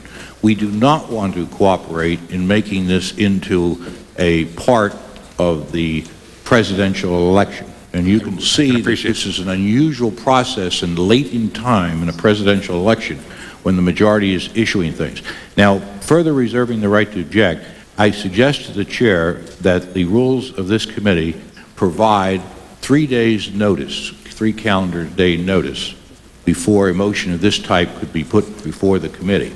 I would suggest that rather than requesting the invoking of that rule, and the only way that rule can be uh, overcome is unusual circumstances. So I f- would first make the inquiry of the chair what the unusual circumstances are, if there are any, or is there The unusual circumstances, I would tell the gentleman, are that Mr. Livingstone, having in- indicated previously and throughout uh, the month of August and into September that, uh, that he would appear voluntarily, that he would come before the committee and submit himself to an additional deposition, and we acted in good faith and accepted that in good faith. And it was only on Monday that we were advised by mail, by letter, from Mr. Turk, that contrary to his assurance that he would do that, he has now declined to do so, knowing uh, that uh, the authority to compel him to do so had expired. So we felt that we had been gamed rather uh, severely uh, by Mr. Turk. That is an unusual circumstance that I think would warrant the waiving of the three-day further rule. reserving the right to object. The gentleman That- will... That, that explanation of unusual circumstance goes very much to the point I've been trying to make for the last hour at this committee.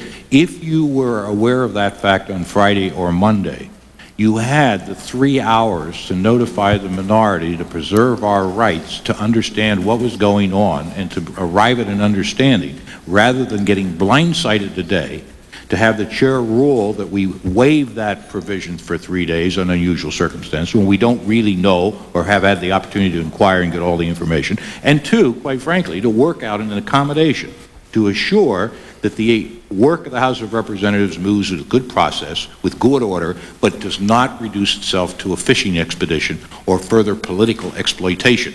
And that, you have to understand, is a, a serious reservation of this member, and I think the minority side. This is an unusually late period of time to be further deposing a witness that has been deposed for more than 30 hours, has appeared here in person for hours on end, could have been asked any question. I would tell the gentleman that we had fully anticipated that we would have been able to depose Mr. Livingstone in August in a, in a very uh, uh, But we've had appropriate Mr. time. Chairman, But a regular order, this is a point of order he's making. It's not, it's it's not Well, the reserving gentleman- the right to Mr. Chairman, let me confirm. Regular order. Does the gentleman, confirm regular order has been called for. Is it, could it be understood that if there is an extension of authority, which we, we, we are sympathetic to grant, we want to see that you get to all the facts and information because we think it benefits the position of the President. There isn't any question about that. So we want all those facts laid out to the public. But could we have an understanding that if we express that, and I, I, I, I do not object further or raise any rules of procedure, that the sine die resolution of adjournment would automatically expire the, the authority granted, and that the deposition would be limited to Mr. Livingstone only, and all others' rights would be waived, and that we, we know what the conclusion is going to be. We're going to call one witness, and if it's not done, or if the report's filed, or if we have a sine die resolution of the House for adjournment, no further activity and no further extensions allowed by this request.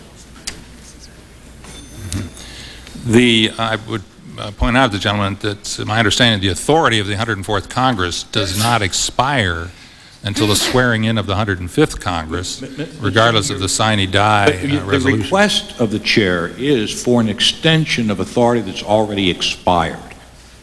And, and we're trying to accommodate the chair to give that extension. And I, I don't think there's anything tricky. I hope you you understand, nothing I'm saying to you. Normally, sine die resolution would adjourn the authority.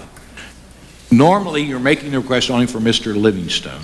And if we were to grant those two requests, I can't understand why that wouldn't accommodate the, the, the opportunity that the majority and the chair is seeking.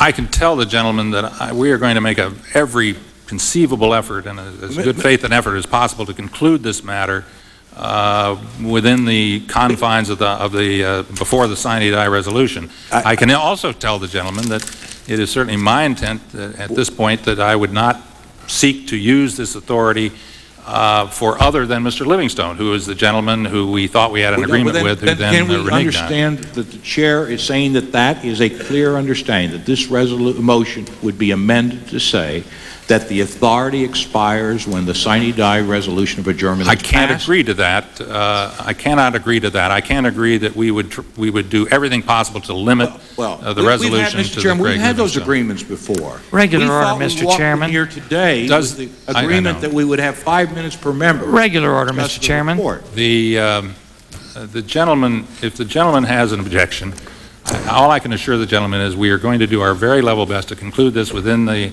confines of this, uh, before the sine die. I can't guarantee that that will be the case. I can assure the gentleman that at least my intention is to, I mean, my, our main purpose here is to get Mr. Livingstone to respond to some documentation and other things that, Well- that he, uh, he needs to respond to For to practical purposes, if we may just go on to, the, the chair is aware of the fact that even if we granted all the process thus far in favor of the majority, there would be no ability for the House of Representatives to issue a contempt order after a sine die resolution because the Congress of the United States, the 104th Congress, would have adjourned. Mr. Chairman, regular So it would order, seem not unreasonable for the chair to recognize. What I am worried about, quite frankly, as, as a member of the minority, is I have seen the, the chair exercise his power and prerogatives in what appears to be a very serious, informed way, but then has a way of suggesting there's unknown quantities, unknown facts, more work that has to be done,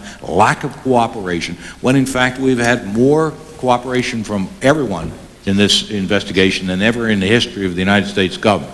And I don't think that seven weeks before presidential election, I want to see my good friend from Pennsylvania, the chairman's face on CNN, suggesting that we don't yet know whether we need a, a, an exhumation of a body or some other unknown quantity that could be suggested out there.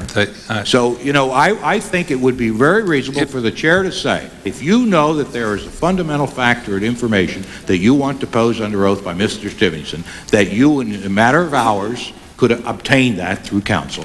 And Would that the gentleman state his point of order, Mr. Chairman, and get on with The the chairman has stated what he is prepared to do, and I must ask the gentleman, uh, if you have an objection, to I have an state the objection, then, objection. Mr. Chairman, that the three-day notice to this committee has not been exercised. And that- the motion of the chairman is out of order until that. Objection is noted. Reserving the right to further object, Mr. Chairman. The objection is noted. The, uh, Well, it seems to me it's a question of what is being objected to. A point of order is only in order, Mr. Chairman, is it not?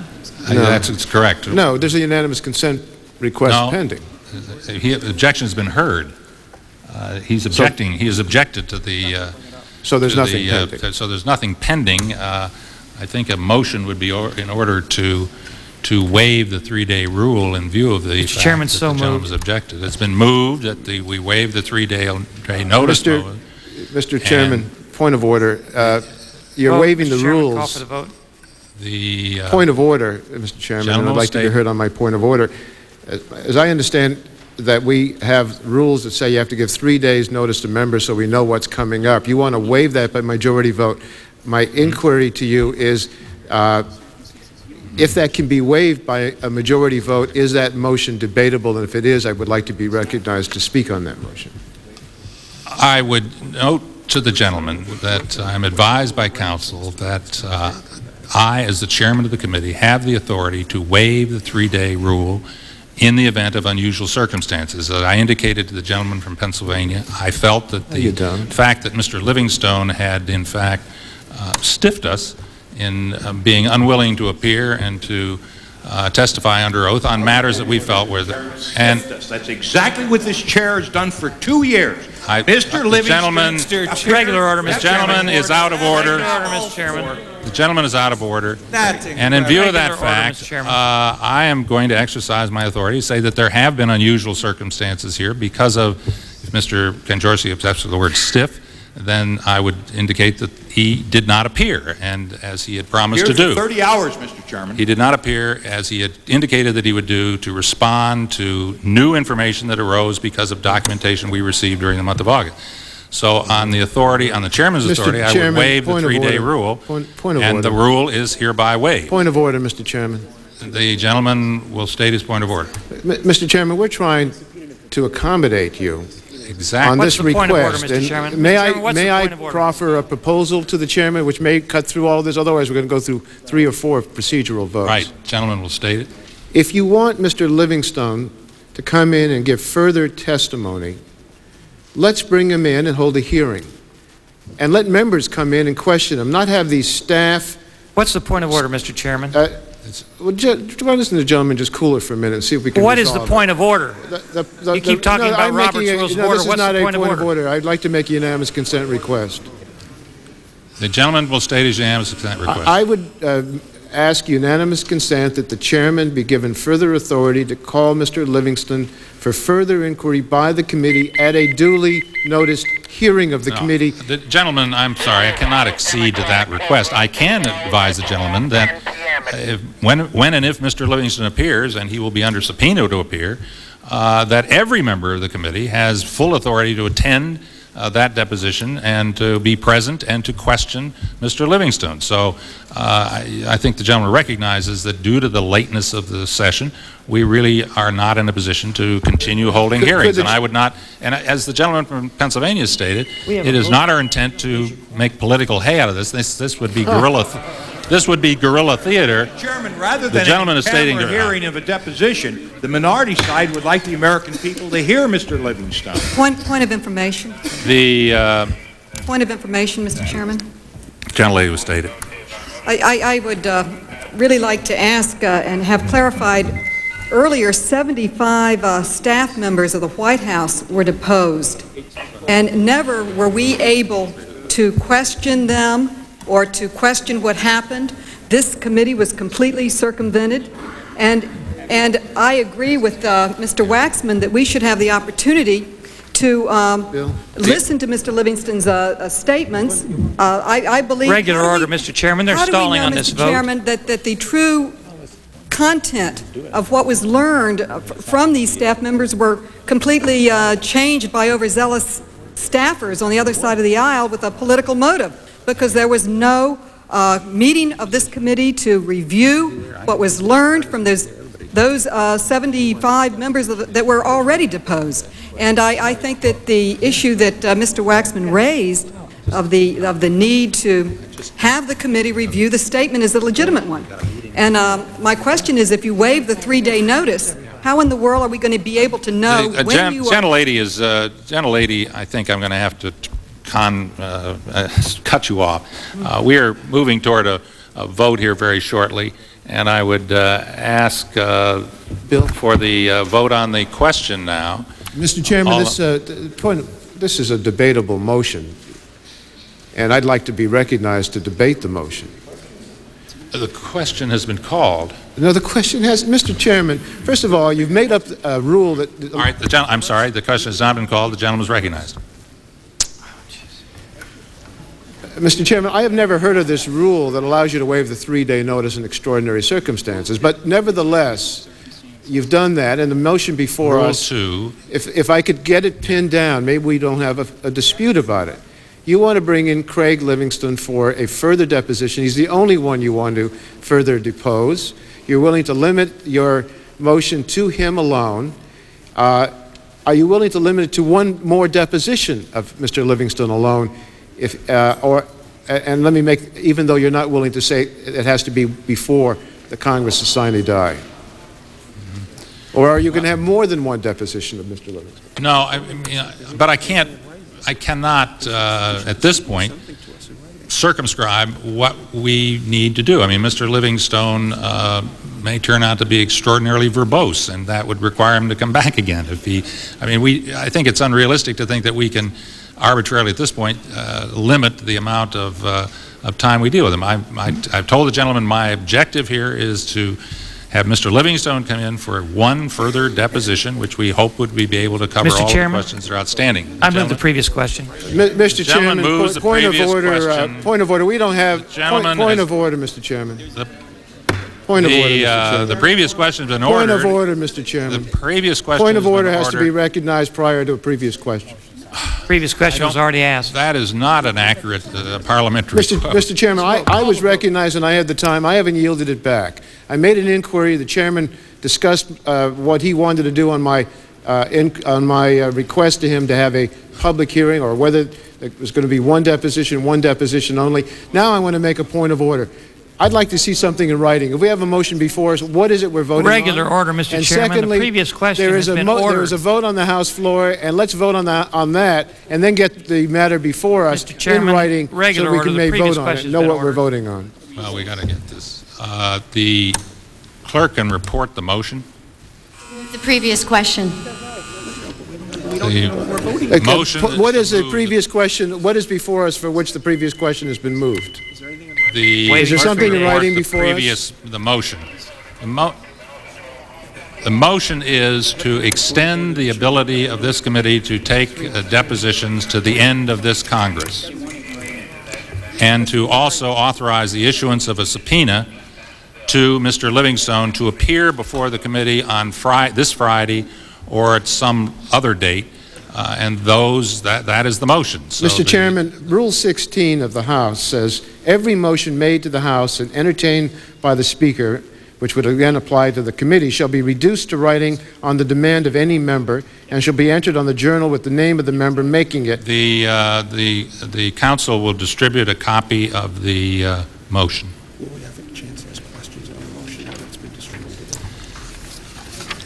Now the motion is being offered before The us. motion now Then the question is, Mr. Chairman, whether this motion should be read or not. But the previous question has now been called. No, Mr. Chairman, there cannot be a previous question on a motion that has not been properly put before the committee. And I, and I further make the point of order, there's a vote on the House floor. Second bells. Things will cool off when you vote. The uh, committee will stand in recess uh, until 10 minutes after the, uh, well, until, until 12:45.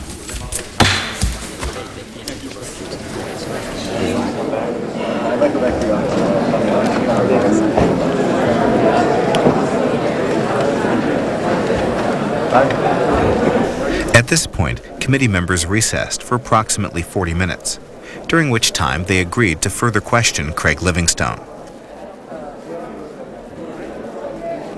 Going to go moment, right?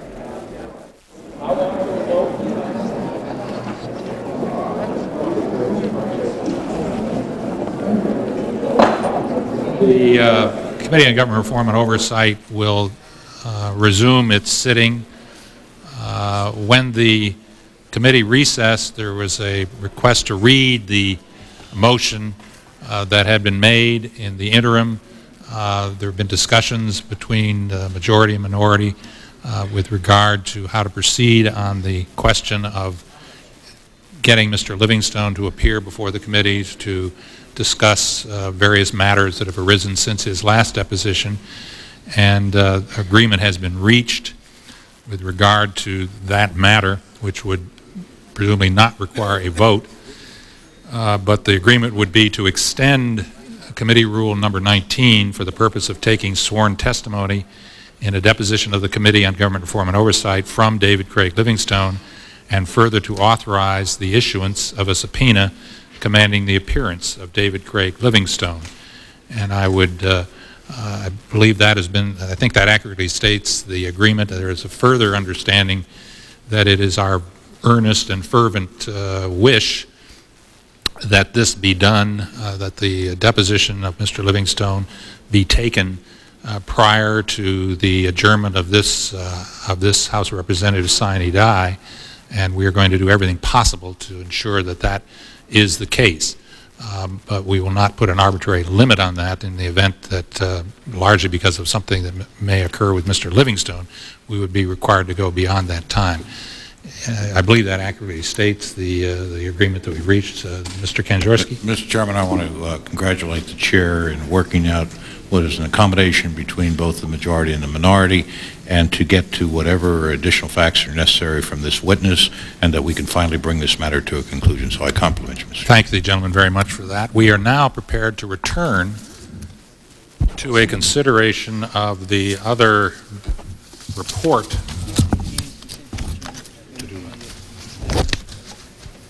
Uh, I think I was just stating an agreement. Uh, well, uh, the, it's suggested that perhaps we should have uh, a request for unanimous consent that that agreement between the majority and minority be agreed to, and without objection, it is so ordered.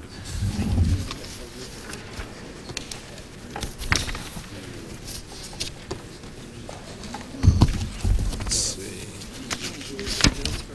No. So we now turn to the sampling statistical adjustment of the decennial census fundamental flaws, uh, which we will now uh, take up, and I know that there's going to be During the break, members agreed to grant the committee authority to depose Craig Livingstone before the conclusion of the 104th Congress. The House is expected to adjourn during the next few weeks. The committee moved on to other business at this point.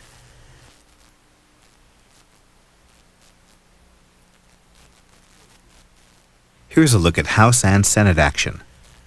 The House Wednesday passed about eight suspension bills. Suspensions are designed to move through the House quickly, require a two-thirds vote, and are not amendable. Also, members